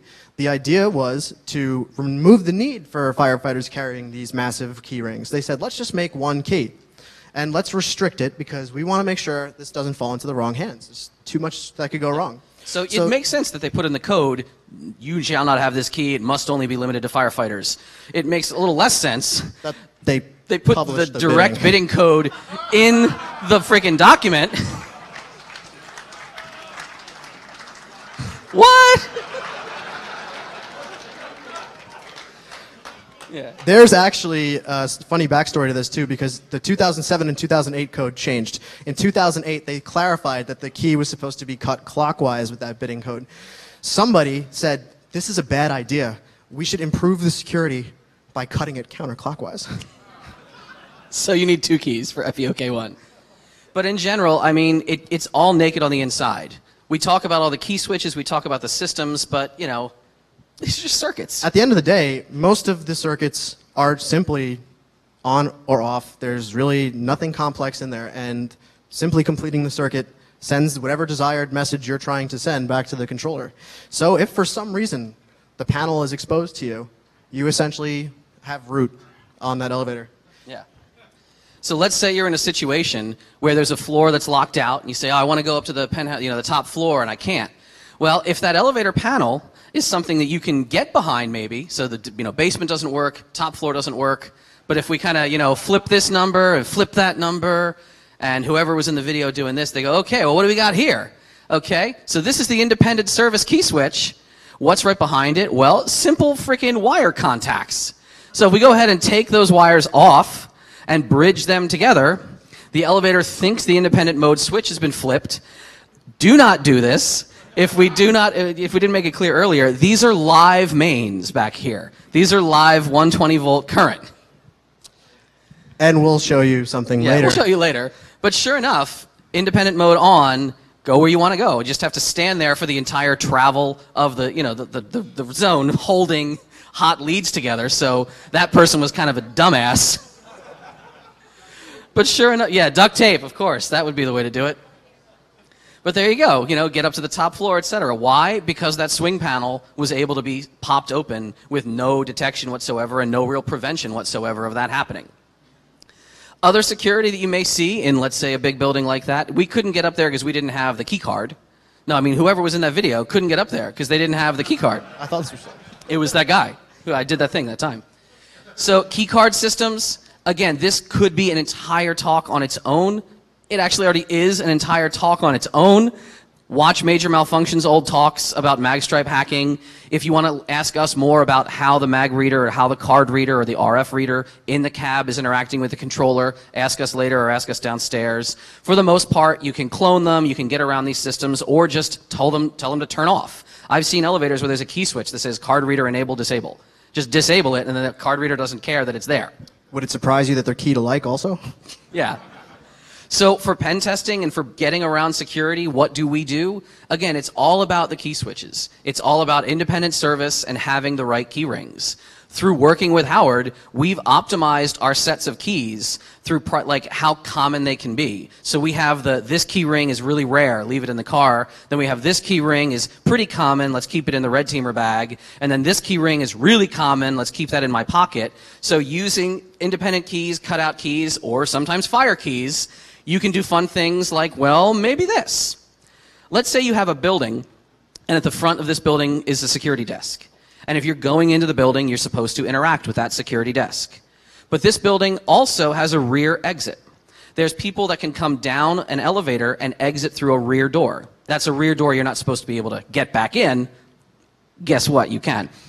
But if you get to this elevator, even then, they figured, well, you know, what's anybody going to do? This elevator is not going to respond to any calls because people don't have the badge. If you take control of this elevator, then maybe drive it in fire mode somewhere else into the building and get off, you have effectively bypassed the downstairs security just by having the right keys and a little bit of know-how. You're going to see a video of that happening. We might even play it twice if you don't catch it all because it's really fast. You're going to hear Howard and I say things like phase one, phase two. What we're doing is very quickly, with our own duplicate set of keys, flipping one mode, the next mode, registering a call, and I'm jumping on the cab. This is us getting in the back entrance of the facility. You can see the security cam. Door is locked. Door is not locked properly. Here's the elevator. We can get it to open its doors for us, but the only way we're getting to drive it up is with keys. I'm outside, he's inside. Ready? On, on. Phase one, phase two, call is registered, I can pull my key, join him in the car. Bobak and I have done this at various facilities before. And also, when you're doing that, you're not throwing all of the elevators into, you know, fire service panic where they all drop drop down. Well, uh, uh, just to clarify, for at least the moment that you've put Very the car on phase, phase one, it, it is the bank of elevators will be on phase one. Now, in this case, we simply just turned it on that one car on a phase two, and then yanked the key from the outside, effectively turning it off immediately. You know, within seconds. You know, to not disturb people within the building, right? Yeah. So everyone else did briefly experience that jewel flash on and off, Right. but hopefully they, you know, didn't didn't panic. And if we can just do another quick disclaimer, we feel like we're trained professionals, and there is a whole story to this particular job where we filmed this. We accidentally took this elevator out of service, and it was a big deal. Yeah, it took us like 20, 30 minutes of monkeying around and It was just like phone calls. I, I don't know what I don't know what I Yeah, the controller got unhappy. So again, like this is a really cool end run around security. Be aware of how that works. Be aware that you shouldn't just maybe look at the New York Post and get the keys like Jos talked about in his talk and be like, "Well, I'm going to get some fire keys." And the New York Post said, "There's no way anyone could ever do that." So yeah, just because you think you can get the keys from a little low res photo. Oh, fuck low res photos, right? So this is a really high res photo of the New York City fire key, the infamous 2642 key. Would you be interested to know that A, this is an unrestricted blank, this is a standard Yale key, or as Jos found out when he was looking at the photos, it's also the same blank, uh, you know, that ABUS uses. So he cut a nice little ABUS just looking at this. And as he was, you know, looking and cutting and measuring, he's like, that is not right. Is this right? And I said, oh yeah, I found out about that. Would you like to know the bitting code for this key? Would you believe that I'm not really breaking security here when I tell you that 2642 is the name of the key for years because 26420 is the fucking bitting code for the New York City fire key? So they could yell at that one guy on eBay all they want. Like everyone has had the name and the bitting of this key forever. Yeah, and what's really weird about it, though, it's, it just goes to show you how slow things can change in this industry, is that that Post article ran in like 2008, I think. Yeah. And this has been going on for years before that, even. That people were selling these keys online and on eBay. And, and just to be clear, I'm pretty sure that NYPD treats unauthorized possession of this key as possession of burglars' tools. Probably, probably. So, So- you probably shouldn't carry this. You probably also shouldn't carry the one that works in all of New Jersey, all of New Hampshire, and all of Massachusetts. That's the 3502 key, which is also an unrestricted blank, and which also has a really stupid bitting code. No, he's like, all right. Just so kidding. the tool, they're already freaking yelling at us. That's clearly that's not the bitting code. It's that would be too. That's actually the real bitting code. yeah, get the video later, I guess. One more thing about uh, fire service and interesting fire operations. It involves the BACnet, the Building Automation Control Network. Uh, Brad Bowers did an amazing talk about this a couple of places. It has to do with the network-enabled communication in a building where, like as Howard said, if there's a fire but it's not in like the lobby, the fire service might not trip. Well, a big building owner might want the elevators to go on a fire service if there's a fire anywhere else. There are ways of communicating between systems. Hey, there's this condition. Hey, there's that condition. The HVAC is having a problem. There's a fire sensor here. Learning how to sniff and spoof stuff on the BACnet can cause very interesting things to happen in a big building. And actually, if I'm not mistaken, I mentioned that dry contacts and just simply completing a circuit is the primary means by which elevators will use to enable these various modes. But actually, NFPA 2012 requires that dry contacts not be used. And Brad gets into that extensively oh, in that talk, so it's worth checking out. Yeah, check out his talk. He's an awesome guy. The last most powerful thing you can do to get around a building, and again, we're not advocating it. We're just going to, you know, look cool while not dying and doing it. Hoistway access. As we said, who is more powerful than a fire operator? An elevator operator. Somebody driving the car from in the hoistway itself. Would you like to see what it looks like to get to a restricted floor by doing something that my mom thought was way too unsafe and got upset? Here we have a secure building. The footage on the lower right is the floor where we're all standing. The footage on the upper right is the destination we want to be. What are we going to do? Well, we're going to seize the top of the elevator by catching the, you know, the cab in between floors, getting on top of that elevator where only two of the three people in this footage have any business being, and somehow they didn't kick me out and let me come along. There is, as we said, there are car top run controls. And people at, let's say, MIT have known this for years. How many people have ever heard of the late night elevator rides at MIT? Yeah, this is what's happening. This is what you're doing. You're actually taking the elevator out of operation, you're running it on inspection mode, and doing whatever the hell you want. There's floor lockouts, fuck you.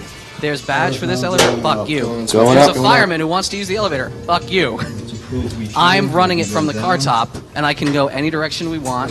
We can go any direction up or down. We can go here we are, and sure enough, Howard's driving it up. We get to the next floor. What kind of security locks do you think exist inside the hoistway doors? Three. Basically zero. Zero. Yes. There we Now, are, Actually, and we step out. now the NYFD actually allows you, You can just send to it down. use a lock to secure your hoistway door. It just has to be the 2642 key. So yeah, hoistway rides, right? Now, were we using any special keys at all? Yes. We were using a different kind of key, though, right? Sure. So, if you ever see that little hole in the corner of the door, that is what's called an escutcheon hole. And an elevator mechanic will use a tool like this, a drop key. And essentially, they're just reaching inside. When that metal flag drops down, they can rotate the key, lift up on the flag that's attached to the release mechanism, the door opens. There are all kinds of different keys. It's really not worth getting into the different distinctions between all of these, but every door has a key. Let's just put it that way. And some people who weren't authorized were using these keys interesting ways, right? Absolutely. So, New York City Housing Authority is the single largest owner of elevators in the world, according to my understanding. And they have a unique experience with unauthorized use of hoistway door keys. And as this slide might suggest, what people were doing was hiding drugs inside elevator doors. Because I guess they figured, hey, you know, who's going to look there? Well, besides an elevator mechanic, right? But they probably knew, hey, no one's taking care of these elevators anyway. So what people would do is they'd, they'd have a door key, they'd open it up, they would tape the drugs to the inside of the door where no one else could get to it, and then say, hey, I left it in that spot. Yeah, it's Right. in that place I put that thing that time. So of course, there's a solution for this, right? So the industry came out with escutcheon hole locks. They said, all right, you've got this little hole, and you don't want people sticking things through it. We'll make you a little lock that will fit right in. It'll have this mounting collar, and then if you slip the lock through, it'll just plug up the hole. And we'll give you, you know, that nice high security tubular key, right? So we have the tubular key, opens the lock. It's just a little rotating tailpiece, just this little tail bit interacting with the fat collar on the other side. And if you don't catch what's happening there, you can see back here, the tailpiece is clear or the tailpiece is blocking. Very simple mechanism, really neat idea, right? Now, as I said, you know, tubular locks are what? Tubular locks are awesome, right? No, tubular locks are pretty bad. Here's the nice tubular pick that TOOOL happens to have downstairs. Try it, try it, try it. All right, well, that's kind of turning. And now that looks pretty turned all the way. Hardest part, just getting the, getting the, you know, the lock out of the hole. There we go. Now, you might think that like, oh man, that's terrible. I guess they should use like an ACE, you know, 2 or a really nice quality tubular lock or maybe something better than a tubular. Well, there's a much more fundamental problem that Howard realized as soon as he, you know, bought one of these to play with it and he showed it to me and I was like, no way, that can't happen this way, can it? So if you go to the next slide, Yeah. you'll see that there's a, there's a tapered edge on the side that faces the general public. So grabbing it with a tool from the outside is actually a, little bit difficult. Right. Unless that tool Do you see how this installs, right? You see the collar is got two halves that screw together? So if you're outside and you have the real key, you interact with the lock plug. That's called the speedy key. If you happen to have any other tubular key ever, it won't interact with the tailpiece the right way. What it'll do with the application of a little bit of extra torque is just start unscrewing the whole mounting collar.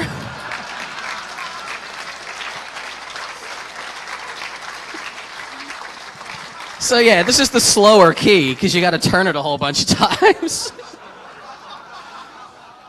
so there's your there's your escutcheon hole lock. Open. Yay, open. yeah.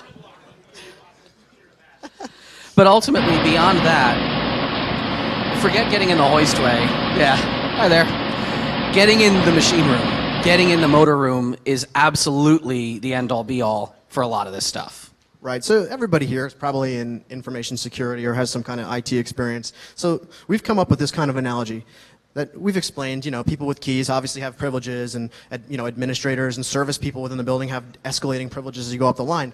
But when you're in that machine room, there's a fundamental difference between being on top of the car where you can control it without any exception. And that the only exception being that someone in the machine room could literally just disconnect the run box that you're controlling. Yeah. So to that extent, somebody in the machine room sort of has hypervisor access. They could actually change the parameters of the universe as the elevator controller sees it. Now, whether it's through a direct interface like you're seeing here, there are actually monitors, keyboards, and mice that are connected to modern elevators that are solid state controlled. What you're seeing there was a group controller, and so it is showing you all of the elevators in a particular bank and how they're interacting with the demand. But again, if there's just dry contacts, somebody in that motor room can do a whole heck of a lot with just a single piece of wire. And as it turns out, we do that all the time. In fact, part of our job very frequently would involve jumping out various safety circuits to, during testing, which we'll get into in a second. Like an elevator's never supposed to run if the doors are open. And never, really in the beginning, an elevator's never supposed to run if it's on its finals. If it hits the final limit, that elevator's dead, right? What does an elevator mechanic come out and fix? He jumps out the final. He just says, no, that circuit's not actually tripped. And then drives the elevator manually. There's a lot of interesting things. And when I started looking at some of the stuff you showed me in elevator rooms, you really start seeing notes everywhere. Yeah, so it's hard to memorize all the different places you have to connect the wires to do various different things. So there's sort of a trend in the industry to use elevator graffiti, as they like to call it.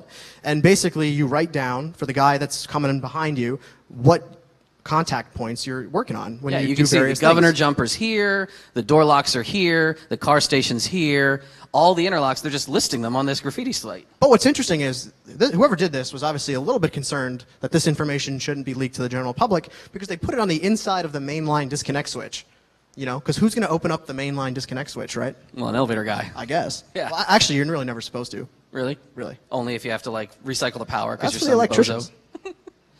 But this is this is what people like Howard do to drive an elevator way beyond normal operation. When you do like a five-year test, what what do you end up doing? It's a full load, full speed hit into the buffer. Yeah, right? when when you have a traction elevator, a cable-driven elevator, every five years you're going to put the capacity of the car plus a little bit extra inside, in usually lead test weights. Somebody will cart them in, put it inside the cab, and at full speed you'll then allow the car. Uh, at full speed you'll crash into the buffer, but you also have to test the governor. You test the safeties, so you'll actually overspeed the car and force it to trip electrically and mechanically. So think about that for a second. Yeah. You overspeed it once, make it trip electrically, it should stop. Then you have to bypass the electrical portion of the safety and then actually make it trip mechanically. It is a fantastic sight to see. Yeah, the idea. We, you know how many people you talk to your friends about having good backups, and you say, "Well, have you ever actually like tried to restore from your backups? Have you ever wiped your system and seen if the restore worked?" And I was like, "No, that would be da- that would freak me out." The elevator industry does this, man. They actually run these tests. What you're about to see looks like a catastrophic accident. This is not an accident. Everything you're seeing, bypassing any number of safety mechanisms, which have all been jumped out by someone in the machine room, is crashing an elevator down into the pit buffer after 40 floors. And here we come. Someone like him manually was doing that from the machine room. And it's actually cool because Yeah. that's what you're trying to do in the situation. You want to make sure that the buffer is able to take a hit at that checked all speed. my connections. You But- should not be doing this if you don't know what you're doing in the machine room. This guy is a 35-year industry vet. and He's explaining that he came up with a clever solution for a clutter of spaghetti wiring. It's like, okay, I got my wires, and these wires carry what kind of current? And I ran one wire. They carry very nice heavy current. What the hell was that? Yeah, if you don't know what you're doing, jump ring contacts, if you don't know what you're doing at all in the machine room, you probably shouldn't be in the machine room. Right. Close this section out with that fun story. Sure. So we were saying before that somebody in the motor room can sort of change the parameters of the universe as it exists to the elevator controller. Now, anybody from New York City knows that when POTUS comes to town, everything shuts down, right? Like gridlock everywhere. You know, no one can do anything because you know, the, the big man's in town. The point being, though, that the president never just gets on an elevator. Just, it's not just that simple, right?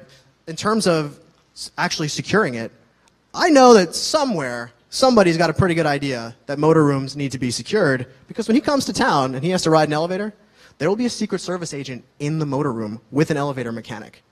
Now, I don't want to say that the mechanic's kind of at gunpoint, but you know, if he, you know, pretty much. anything goes wrong with that elevator, it stops between floors or does, what's going on, they're on the radios. They're saying, get this thing moving down to the parking deck now. I don't care what you have to jump her out. Kill all those safeties. Move, move, move, move, move.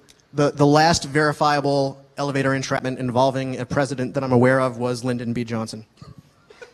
That must have sounded hilarious. I can just picture his voice. Speaking of listening to people's voices and talking and stuff in elevators, we're going to hit really quick on a little freaking section for you if you don't mind. Sure. So, Talk about phones. elevators have phones, right? Two way voice communication shall be required. That's part of the elevator safety code. The idea is that if you're in an an emergency situation, you can simply hit a button. And I'm sorry, actually, I may have said voice communication shall be required. It's actually voice communication shall not be required, to clarify. The idea being that if you're unable to communicate, maybe, maybe you just don't speak English. Um, you know, but for whatever reason, if you're not able to communicate the circumstances that there is an emergency, there's usually a pre-programmed message on those phones that when you hit the button, gets a dial tone, dials out, plays the message. Sometimes they dial 911, so don't just hit the button willy-nilly. Now, what you're seeing here is an example of a non-compliant emergency phone. Now, not only, it's okay. Not only do you need hands to operate this, but you need to be able, to, need speak. to be able to speak. Yeah. Now, here's the right kind of phone. It's just installed behind a panel that you need hands for. So, like, maybe that's Uh. compliant. I don't really know. But in general, understand that these are real phone lines. The elevator has a phone line running through its traveler cable to every car. If you can get to those phone lines, either up in the machine room or maybe on the phone itself, who wouldn't want like just an unsecured phone line that they could do almost whatever they want with? There's nobody in this room would ever think of things they could like box on that phone line, right? Beige block or something? Yeah, so most of these lines are, are sometimes limited to local calls only, but it's not about always dialing out. It's about dialing in, where we start to get interested in some of the intelligence fields. So learning that phone like, like calling and all IDing that line, or the old 258 trick might used to work, or just, you know, looking inside the panel, finding the phone number from there, or looking at the freaking, like, the sign outside of an elevator, why this is here. anybody's guess is as good as mine. I, the only thing I came up with was that there were just such a frequent amount of entrapments that the building owner said, hey, let's put up a sign. So this way, when someone's stuck, we can just call and find out what's going on. Most of these phones, however, elevator phones are designed to automatically pick up silently and be on speaker after one ring if you call them. So if you were to call the elevator number, maybe you're just a real freaking big troll and you want to make people think they're hearing voices all the time. and you just be like, I'm the elevator, I'm watching you. Help, help, they've turned me into an elevator. Yeah. But the bigger problem than people being, you know, Jackie with this kind of stuff is calling an elevator phone and not saying anything at all and listening to what's being said in the elevator. This is an actual concern, whether it's based on the phone system or even some just have intercoms up in the machine room. When big people come to town, and let's say down in the Beltway, people who officially don't work for the phone company but kind of work for the phone company and have a lot of clearance are at the phone company monitoring certain lines, saying, Why is there activity on that line? Is somebody stuck in an elevator? Uh, tell somebody to trace whatever's going on with that line. Somebody shouldn't be calling that elevator right now. Who's listening in, etc. But understanding how these phone systems work, you can do, if you're interested in this stuff, you can do a lot. Yeah. So one of the most concerning things when I started researching elevator emergency phones was that I needed to change the combination on my luggage. So, but it's okay because obviously this is you know security through obscurity. It's not like this information is published. oh, slide. So again, even if it wasn't published online, right? It's not like they're just putting the instruction manual in the phone, in the phone cabinet, right? Shit. Yeah. yeah. So there's that. Like, Uh, Not even Nicolas Cage can believe this. let's talk about some other unbelievable stuff. Let's talk about for a minute everything that's wrong in movies because Hollywood loves them some elevators, man. They're a great plot device. How many people have seen, you know, like bulletproof elevators?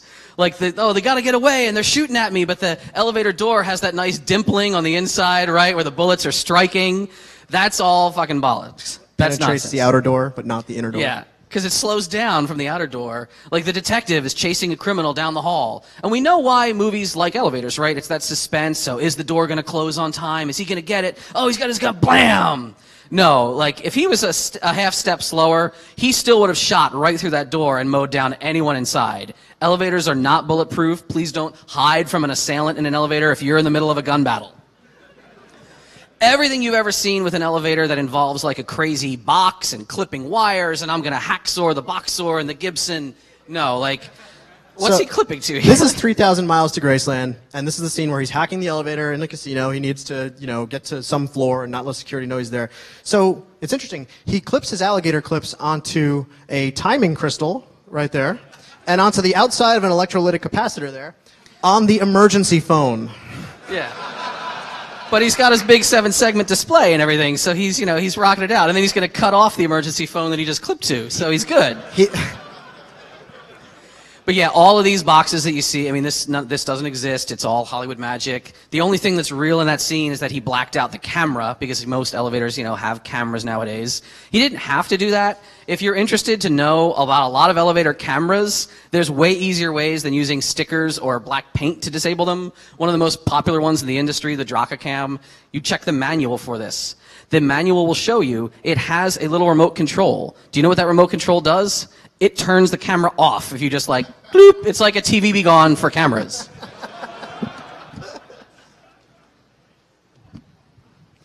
How about everybody's favorite elevator movie, right? especially mine. Yes, speed, of course. So there are so many interesting things right and wrong about this movie that we would just wind up sounding like these guys. Buy us a drink later, or ask us in the Q and A, or ask us downstairs. We like Howard nerded out. We were watching the rate of plummet and doing some math, and they actually it was it's funny. Ask us about speed later. Everyone, however, has probably seen this plot device at some point or another in a movie. The idea of, oh, this person, get him in the elevator, and, you know, lobby security, I got someone coming down, arrest that man. But what does someone in an elevator do when they don't want to go out the normal way? Well, they flip the stop switch on their Otis Series 1 chiclet fixtures. And then what the, they got the secret panel, right? They got the panel in the roof, which is never locked for some reason in movies and TV, even though it's always locked in real life from the outside. It's usually locked. Usually, maybe. but of course, you know, I'm just going to go up and now they can't find me. Where'd he go? He's on the elevator. They're he didn't looking go there. anywhere.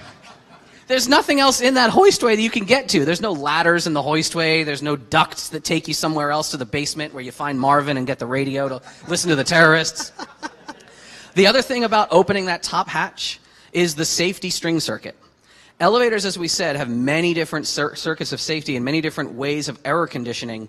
If anything goes wrong with the elevator that it thinks a door is open or an interlock is open, it'll stop the elevator completely right that moment. It'll say, whoa, something's not right. This ain't good.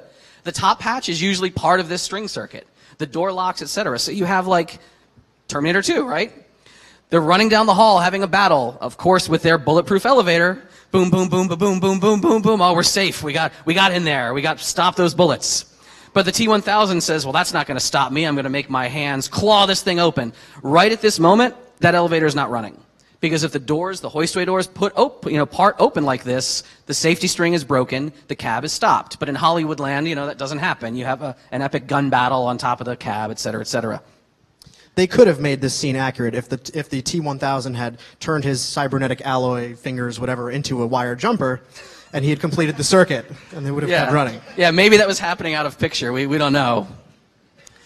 So, like, this is also popular whenever you see. In, how many people love this movie, right? It's a great movie.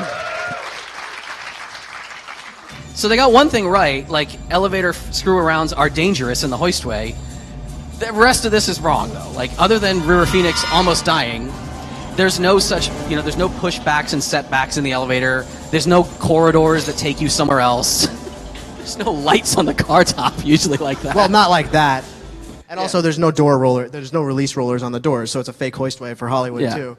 Pretty much the only movie that really got anything realistic I thought about an elevator was Usual Suspects. Because another who likes Usual Suspects as a movie, right? So here you're actually going to see why someone as an elevator guy could be a cool assassin. So He's even like dressed like an elevator guy. secondary career for you, like taking out Kobayashi's lawyers, right? So if someone is, because why is this realistic? Because he's on the car top. He's riding the car top. So he can do pretty much whatever he wants with that elevator. He could absolutely let it platform, let it pick up this call from the car top. McManus could go ahead and he could kill the lights. That would be totally feasible. McManus could open the top hatch and jump her out that safety string from the car top, so that, that's plausible.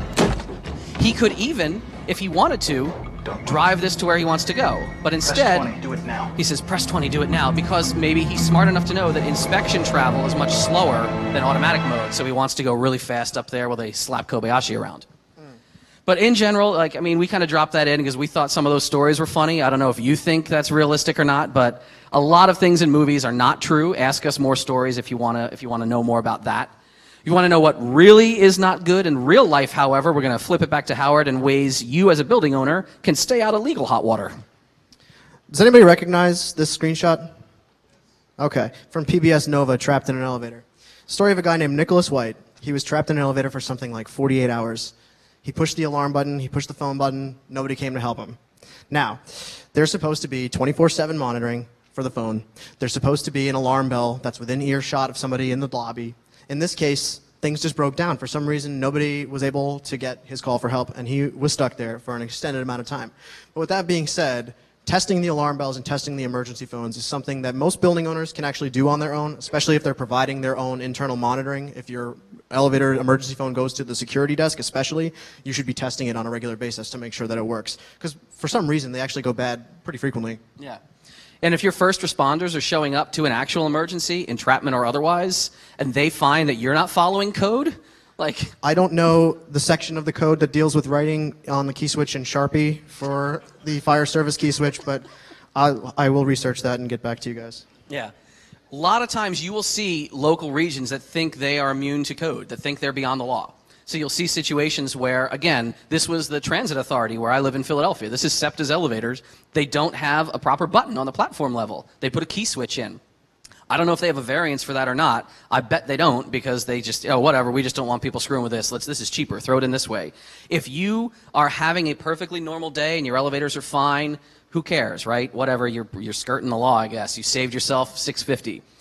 If you have a problem, if you actually have an incident, this is kind of the stuff that comes back on you. If you're a building owner or if you're the controller of this facility, they're going to say, Why are you not following code? How, who the hell let this slide by? And you're facing serious fines and problems. If your emergency phone is not a phone but a freaking speaker, and at least it says right on there, This is not correct phone, fuck you. Like, I, I've never heard of an emergency speaker to something else. right. Yeah. I guess you could be like, help, help, help. I hope someone's hearing me. Help. but yeah, those alarm bells, the alarm bells, which usually would go off if you press or flip a stop switch, which you normally shouldn't be able to do because these are not always called the stop switch. There's an interesting history to stop switches in the elevator industry. There were a number of different revisions in elevator code spanning from the 1970s through uh, the 2000s, where they required the stop switch, then they had to make it a keyed stop switch. They wanted it to have an alarm bell, then it didn't have to have an alarm bell. And getting through the exact differences in the different code requirements would, is a nightmare to explain, but emergency stops won't always behave exactly the same way. A lot of times they're toggle switches, and if there's a toggle switch in an elevator that you're riding in, you should feel a little bit less safe. Because historically, I think there was a sort of uh, level of security that the stop switch provided. People didn't really trust that an elevator, you know, was, was safe, and that was why they were there. But the reality is that more often than not, they were actually used by bad people to do bad things to nice people that were inside the elevator. So I don't know if anybody had seen, there was a video with Jay Z. He gets assaulted in an elevator, right? The, the, someone is throwing punches at him, right? Yeah, his girlfriend's sister or somebody, right? I don't recall the details. I don't watch TMZ. but the stop switch is involved in that video. She So, punched it. Yeah, if, if you haven't seen it, watch it again in that context, and it changes what you're seeing because they. security guard, the, his his security detail couldn't like pull he- the button yeah, back he's out. like the security guy's like frantically trying to get to the stop switch, and he can't. Yeah. But also things like just not properly, forget not securing the stop switch, not securing your hoistways and motor rooms. If you have, and a lot of facilities are not proper in this regard, man, and people who certainly weren't us have explored a lot of facilities and seen things awful. Like the air duct that just actually does go into the hoistway for some yeah, reason. completely not compliant. You should never be able just to get into a hoistway from a non-hoistway door s- place. Like, no, no, no, no, no, no. You should never, if you're in a hoistway from the wrong space, be this fucking guy. You've heard of elevator surfing, like from MIT, but this is counterweight surfing. He's riding This the counterweight. That is so nuts. And if you know who this is, he'll buy you like two drinks. Yes. We told you we'd tell you a story about a motor room door, right? Motor room doors by code have to be what, Howard? Self-closing, self-locking. Is this self-closing and self-locking? No. But this elevator was on its finals, right? So they had to send somebody out with the right keys to go uh, mess around in the motor room and, you know, hello IT, turn it off and on. Right. So obviously it was an elevator mechanic. Right? Oh no, that's uh, that's a security guard. Yeah. Now- Guy making $10 an hour. There's no way this guy is going to be able to repair what's wrong with this elevator. Now, again, he probably didn't even know what was wrong. So from the building perspective, you know, security just knows that the elevator was out. And their standard operating procedure in this case was to simply send a guy up, throw the mainline disconnect switch, put it back in. If it fixed it, then all was good. Right? And they probably wouldn't call anyone, Right. like- They would just ignore it and say, hey, I I don't know what happened, but, you know, it's Yeah, working Glad now. we're up and running. So there's a funny story to this. Um, Dave Oops. basically got banned from this facility for life for taking this picture. What happened was, as soon as he took it, the guy turns around and is like, What are you doing? And I'm like, I'm, I'm taking a picture of that lock. It's fascinating. And I remember the, the security guard turns to you and goes, There's nothing fascinating about it. It's a master lock. Yeah, so I mean, I found that totally fascinating that that was on that door. That's like way, way wrong. Okay. There's like nine things wrong with that photo. But this, this situation escalated extremely quickly, and before we knew it, we were surrounded by a cabal of security guards. Yeah. We Inclu- SE'd our way out of it, but like whatever. Well, yeah, what was interesting was so go to the next slide here. Instead of focusing on the fact that they didn't want us photographing in their building, I just kept arguing, what the hell is this guy doing going up there? He's clearly not trained, right? And they kind of didn't want to answer the question. They were just, you know, trying to make it, hey, no, we're, you're breaking our rules. And I'm like, no, you're breaking the rules. And this is just going back and forth for like a half hour. Yeah. You know, in a very public place. It was a very big scene. Yeah. And they read us the Trespass Act. Whatever. But I mean, you know, you should know who. Ultimately, you shouldn't be sending your security guard up there. You should know who your contractors are. You should know what they're doing in the building. You should like clearly these are elevator guys, right? Right, Like, yeah, They yeah. belong there. You know, like no one would ever just kind of have the elevator outfits.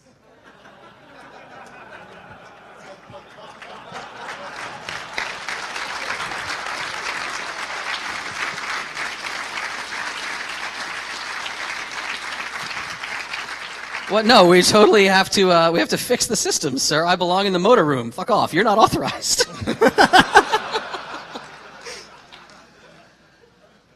so there's a lot of different kinds of people that would wear shirts like us. Yeah.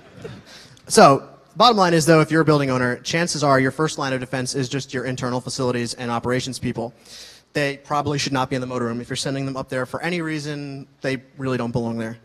Now, you should have an elevator contractor. If you don't, God help you. Yeah. Why is there not one on file if you Yeah. don't? Now, if you have an elevator contractor, but you're super cheap, you might have what's called a parts, oil, and grease contract. That's the equivalent of waiting for your transmission to blow in your car before you ever, you know, change your oil or something like that. You know, waiting for the engine to seize before you change your oil. Not a good idea. You should have a full service contract, have someone coming in there on a periodic basis, making sure everything's okay, doing preventive maintenance, Yeah. doing the tests on schedule. Now that doesn't mean there aren't other kinds of contractors too. Sure. Like this guy right here. So right. So I don't actually work on elevators anymore, really. I'm a consultant now. So what do consultants do? Well, primarily we keep tabs on what the contractors are doing on behalf of our clients. So if you own, let's say, 30 elevators, you have a pretty large elevator maintenance bill at the end of the month, and some building owners will allocate a specific percentage of their budget for it to have a consultant come in and sort of keep an eye on things and make sure that they're getting their money's worth, that the work is performed up to spec, that in general the systems are performing up to spec. Because you don't want this category of people to show up and tell you bad things. So Inspection is distinctly different from testing in that an inspector is generally just there to witness that the test was performed and that the result was satisfactory. There are a lot of different arrangements for that, but basically, half this country doesn't actually really have dedicated elevator inspectors. It's sometimes the elevator company will do their own tests, and I like to say that's great. Well, I like to say, I mean, if I could inspect my own car, I'd probably pass emissions every time. Yeah. So now there's also things like AHJ. That's where you know you have an actual state inspector who will come in and witness the test. So a state like uh, Connecticut, for example. Yeah. Now, if you notice though, if you're ever in an elevator in Connecticut, the inspection certificates are almost always out of date, Yeah. And that's because they're just so woefully understaffed. Yeah, so the whole there's ask again, ask us questions later if you're really interested in inspection and testing and how the industry does or doesn't keep up with its practices correctly. If you are a building owner, ask us about how to check up on your own MCP, like how to see if someone's doing the right maintenance controls. Yeah, so basically, the elevator industry generates a ton of paperwork that's indicating what they did, when they did it, you know, that it was performed on schedule. Your maintenance control program should look like this. Oh, no, not like this. This one's blank. Actually, if yours looks like that, that's a problem. Yeah, this wasn't downloaded from the internet. This was somebody's MCP on site. This actually, believe it or not, came from uh, a site where there was an incident, and they had months to, you know, fix the elevator and do all kinds of other things, and they just left the blank records there for us to, to find, To yeah. find, yeah. It's, This one I loved, and anybody who does forensic handwriting analysis loves this. So, oh, we got your test logs. So, what someone did is they just said, oh, crap, we haven't been filling out the test log at all. Maybe somebody was like coming over as an inspection. So, you could see, tell about this. So, the pen was like dry. you could clearly see that like when they started writing that the pen wasn't flowing very well and as he was actually filling it out it started flowing better and then in 2006 he's decided you know this is taking way too long to fill this out i'm going to stop writing my middle initial And then he And then, changed it. yeah. He's like, well, it shouldn't all be the same pen. That's dumb. Let me change pens for a minute right at the end. so, like jumper logs. You saw a jumper log once. Yeah, How long is the jumper supposed to be installed? seconds it should only be there while the trained technician is doing whatever they need to do and that's the end of it When was this jumper put on and off? i believe it was sometime in 2012 And then, removed in sometime in 2013 what the fuck? So, yeah, there's, there's a lot of collusion that can go on.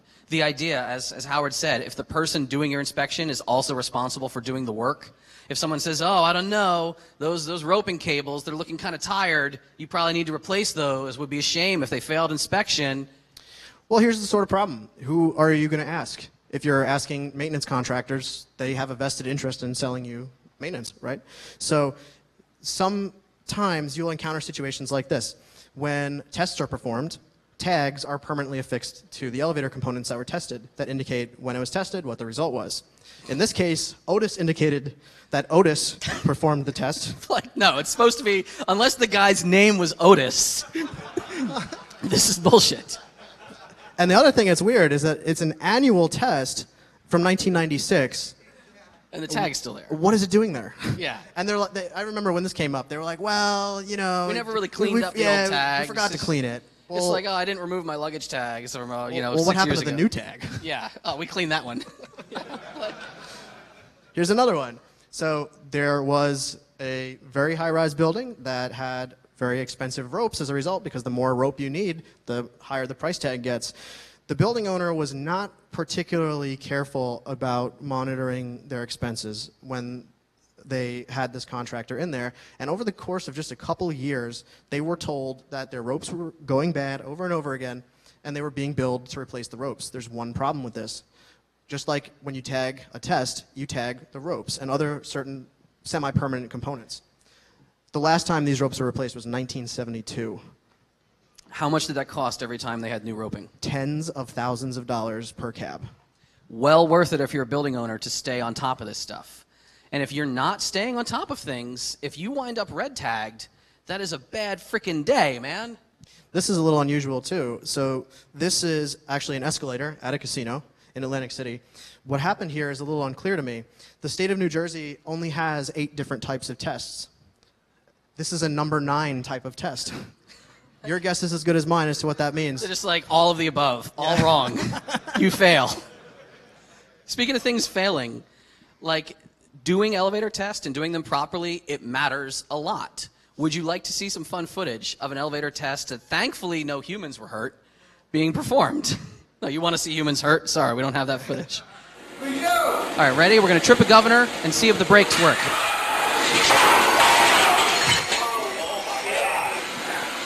Let's let's watch that one more time.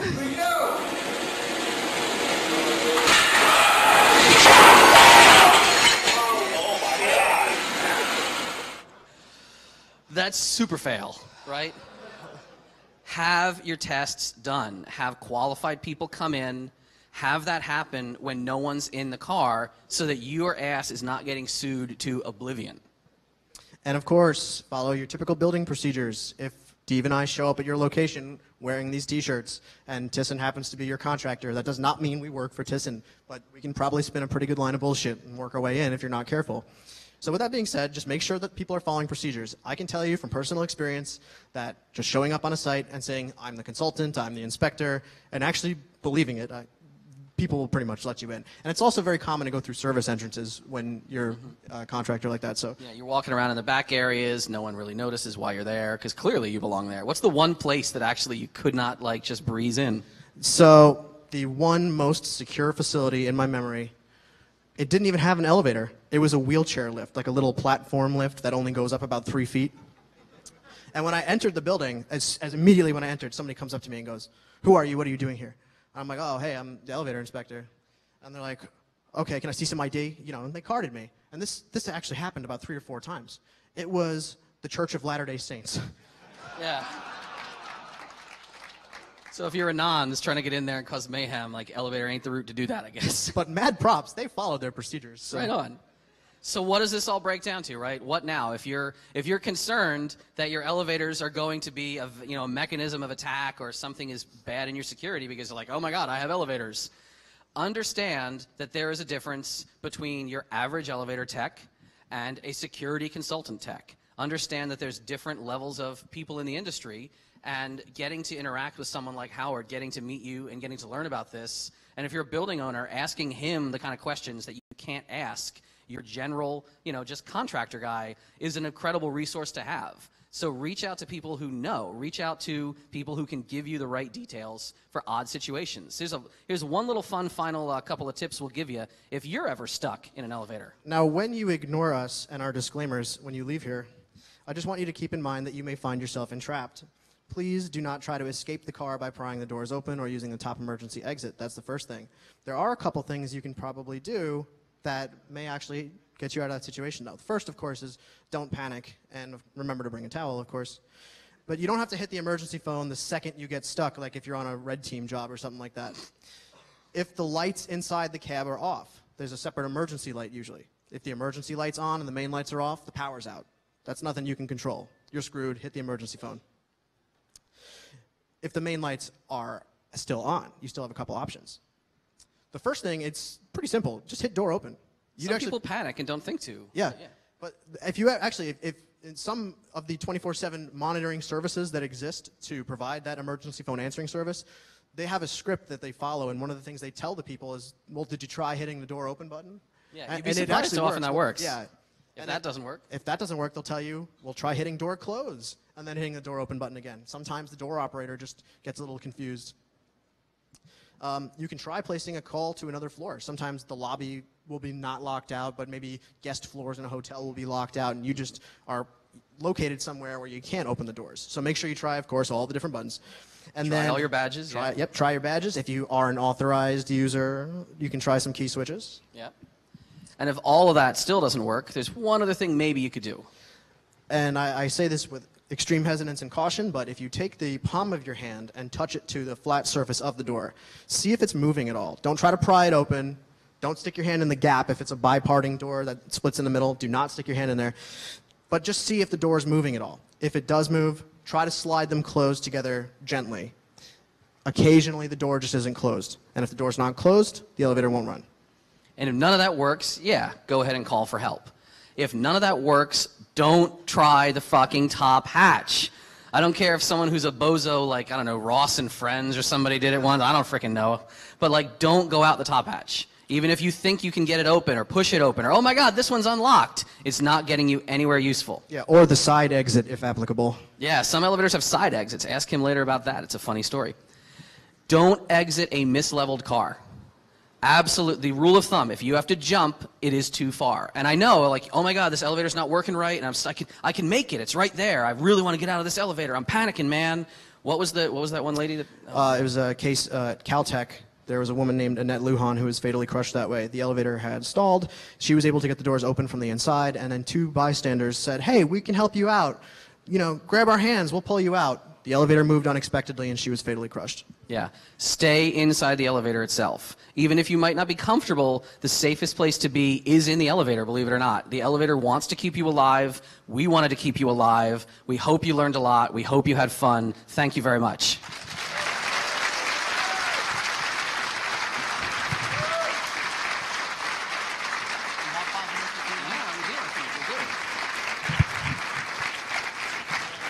So do we actually have a minute or two for questions, or are we booting off? Somebody give us a lighter. Yeah. Oh, wait, we got a guy right at the mic, and we got a hand. I don't know what you're waving at. That's a way. I guess that's. So, what is your question, sir? Uh, my question is so there's a lot of stuff that you say don't try it at home. Um, what are the safest things you can do to mess with an elevator? Like pulling the emergency. You see that in movies a lot or TV. People pull the push the emergency stop button or pull it or whatever. Like, is that uh, is that going to usually trigger uh, grievous uh, responses of alarms and things happening? Like, Most run stop switches are alarmed, so avoid it if you can. Now, the other thing to keep in mind is actually hitting the run stop switch will bring the elevator to a very abrupt stop, and it is possible to cause mechanical damage by doing that. So, if you don't know the job, I would definitely avoid doing that. The, in terms of the quote unquote safest thing to do, Yeah, I mean- that, that's a tough question to answer, but pretty much anything inside the cab, usually you're still at least safe. Thanks. The Hotel All right. Pennsylvania Are the Hotel elevators Pennsylvania reasonably elevators safe. safe? No comment. So uh, I was in Canada, eh? And uh, the elevator had a but, uh, light on it that said shuffle, and it also had an indicator that would say servicing other floors. Yes. I believe you're referring to uh, uh, Toronto somewhere. Yes. It is. I've, I've seen. I've seen pictures of that. I believe what that is is there's a, again a mythos to it online, and what people have explained is that well, it's for Otis guys to get on top of the car. That is absolutely false. First of all, Otis never talks about their proprietary technology if they can avoid it, so they would never make a statement like that. The second thing is, I believe those are double deck elevators. What the shuffle button is, as it was explained to me, was that somebody could press the button. It would actually allow them to switch whether they were going to an odd or an even floor, because it would only serve odd or even floors. Oh, okay, I got you, because it's two caps. Right. So in other words, it would basically let you off, shift up a bit, and then actually allow you to step on the other side, or the other cap. Excuse me. Two minutes left. Okay, Make 'em good. so you guys talked about uh, movies but not television shows, and 80s sitcoms would have me believe if I'm desperately in labor, I'm going to get stuck between floors. So how how common actually is that to be stuck in between a floor for hours and hours? Well, entrapments are fairly common, I would say. Most buildings will experience them a couple times a year if it's a large enough place. A place like the Hotel Penn actually probably has it happen at least on a weekly basis, just on the number of elevators that they have. And that's just speculation. But the, the long and the short of it is, yes, a disproportionate number of babies are born in elevators. Yes, sir. On That too. Hi. On cameras in elevators, are they normally closely watched? And uh, does anyone notice if you do turn them off using some sort of little device, or is it Cameras just in elevators, are they being watched? No more or less than most cameras in buildings. Most of the time, they're for reconstruction after an incident. There are also local cameras that are not connected to a central you know, station in the building where it'll just have a little SD card in it that's just constantly looping so that when an event happens, they're able to go pull the SD card and see what actually happened. So? If you put a key in, there's not going to be someone just rushing the door, likely to, uh, you know, watching. It didn't happen at all where- this weekend. so Depends no. where you are. One minute left or less. Your question, then everybody else. We're going to talk to you downstairs in the Lockpick Village. We're going to set all this up in the Lockpick Village. What is your question? Go ahead. I'm going to ask later. Downstairs? All right. You, sir, the last question. Okay. Make it I- good. I was a naughty boy when I Don't was. suck. Uh, when I was moving, I had a um, a box holding my the elevator as I was unloading it because there was no um, mode for like a freight elevator. Yes. The, the elevator very slowly went up and tipped the box into the floor very politely as the door stayed open as I could see the shaft, and the elevator slid all the way up. What, how many errors occurred there, and why did the elevator slide away? It's possible that the brakes were bad. It's possible that the brake tension wasn't high enough. It's a little bit more common than you might think. There's a specific video on YouTube that I'll refer you to that actually shows a situation where an elevator mechanic was inside a cab when that exact type of situation occurred. That's what those rope gripper safeties are intended to prevent. Yeah, he was talking upper about the floor was actually pushing his possessions, not nudging, which the elevator will do more and more angrily if you keep holding a door open. Correct. And uh, th- that also meant that the building owner went and corrected it. He went up into the tower and pressed a reset button or something to regain the control of the elevator. No, no, no. no. Because no, that's no, how they no, closed no, the don't do door. that. That's, that's my answer to that. That's yeah. All right. Thank you so much. Thank you to Ted for recording this. We'll have DVDs of it. Uh, he wants you know show your friends. We had fun. First time he gave a talk at a con right here. Howard Payne, ladies and gentlemen.